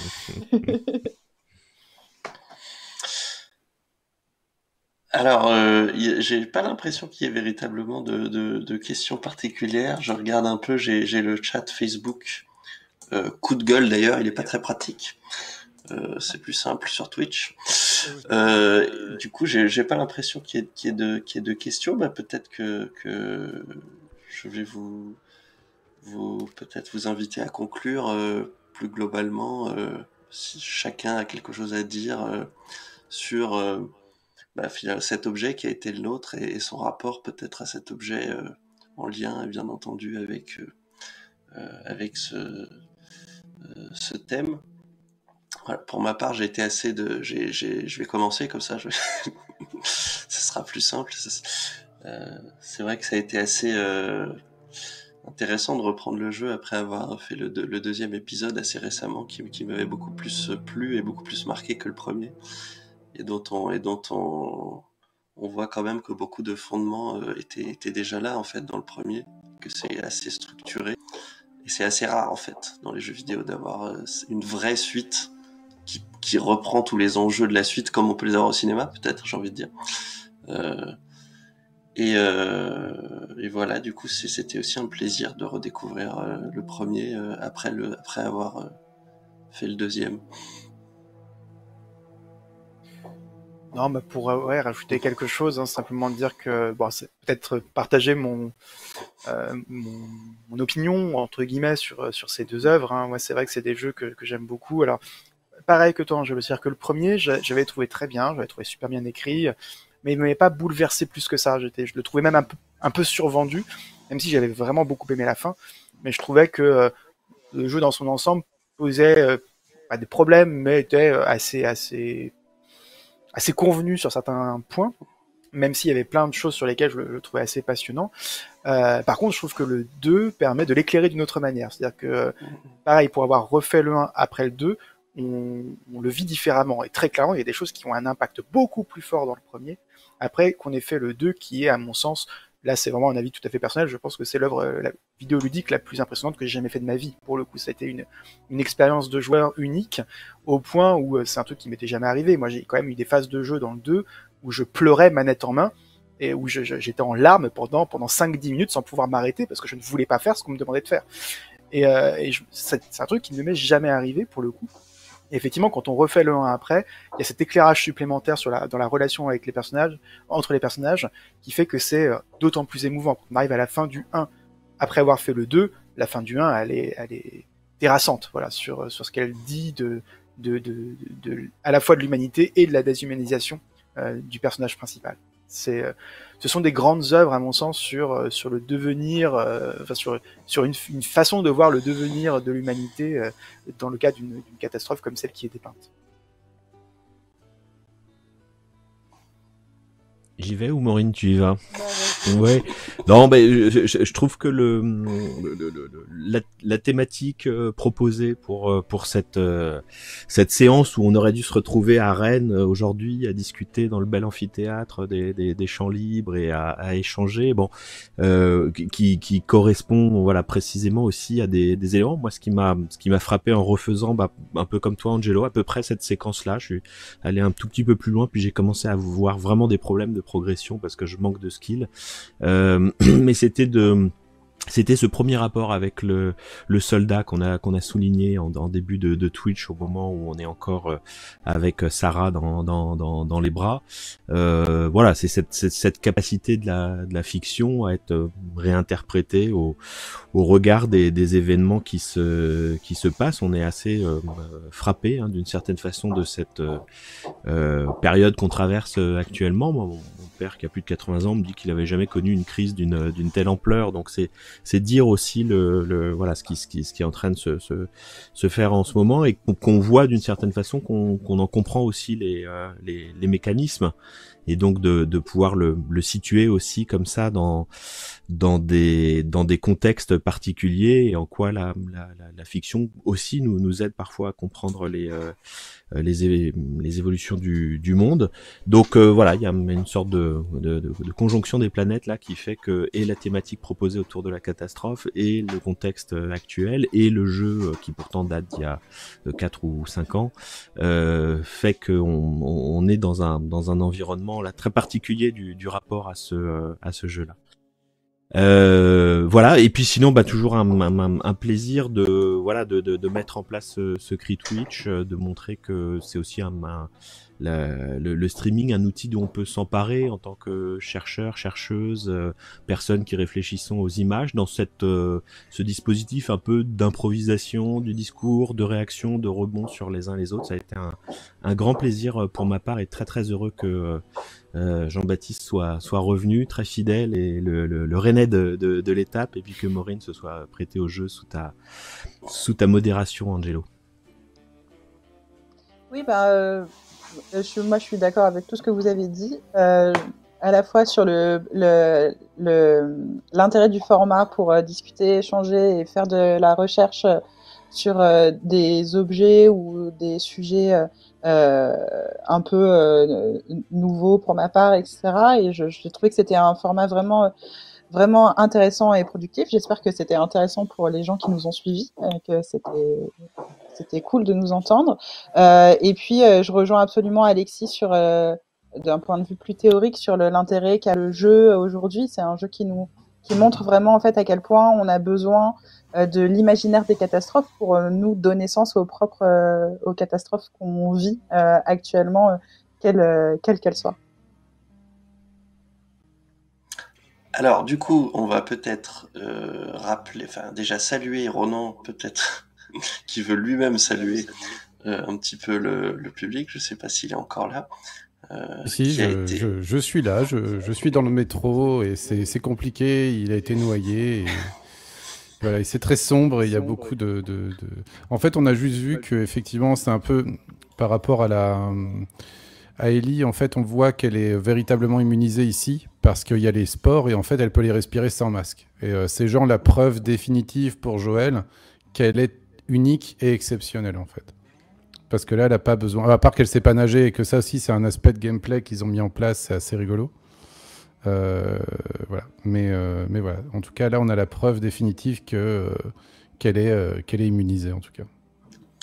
Ben, Ronan, merci pour ton, ta performance exceptionnelle, parfois, oui. parfois très explorateur, parfois très contemplatif et d'autres fois clairement plus bourrin. Bah, oui, c'était hybride. C'était c'était ça un petit peu l'idée, c'était de montrer un petit peu comment on pouvait jouer au jeu.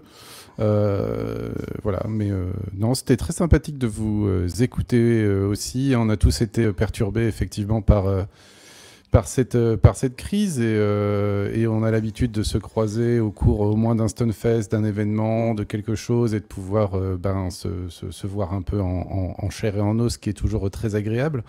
Et, et, pouvoir quand même participer à ce genre d'événements et, et, discuter tous ensemble de, jeux vidéo, c'est toujours un, plaisir. Donc, voilà. Et puis merci à l'organisation, tout ça. À Prosper aussi à la, réalisation hein, qui, qui, qui, nous a permis de rendre ça super joli et, bien fait. Donc, donc voilà. Et eh oui, bah, je vais conclure. Je vais remercier à mon tour Prosper pour ça, qui était aux manettes, à la régie. Euh, bien entendu euh, les champs libres euh, où devait se tenir cet événement et qui l'organise, l'association Troy de Combo et, qui le fait en, coordination avec eux, et bah, nous a qui nous a invités, et bien entendu mes trois intervenants, enfin mes trois intervenants, nos trois intervenants. Ça y est, le modérateur devient possessif. Euh, donc Alexis, euh, Jean-Baptiste et Maureen, eh ben, je vous remercie beaucoup, c'était très agréable.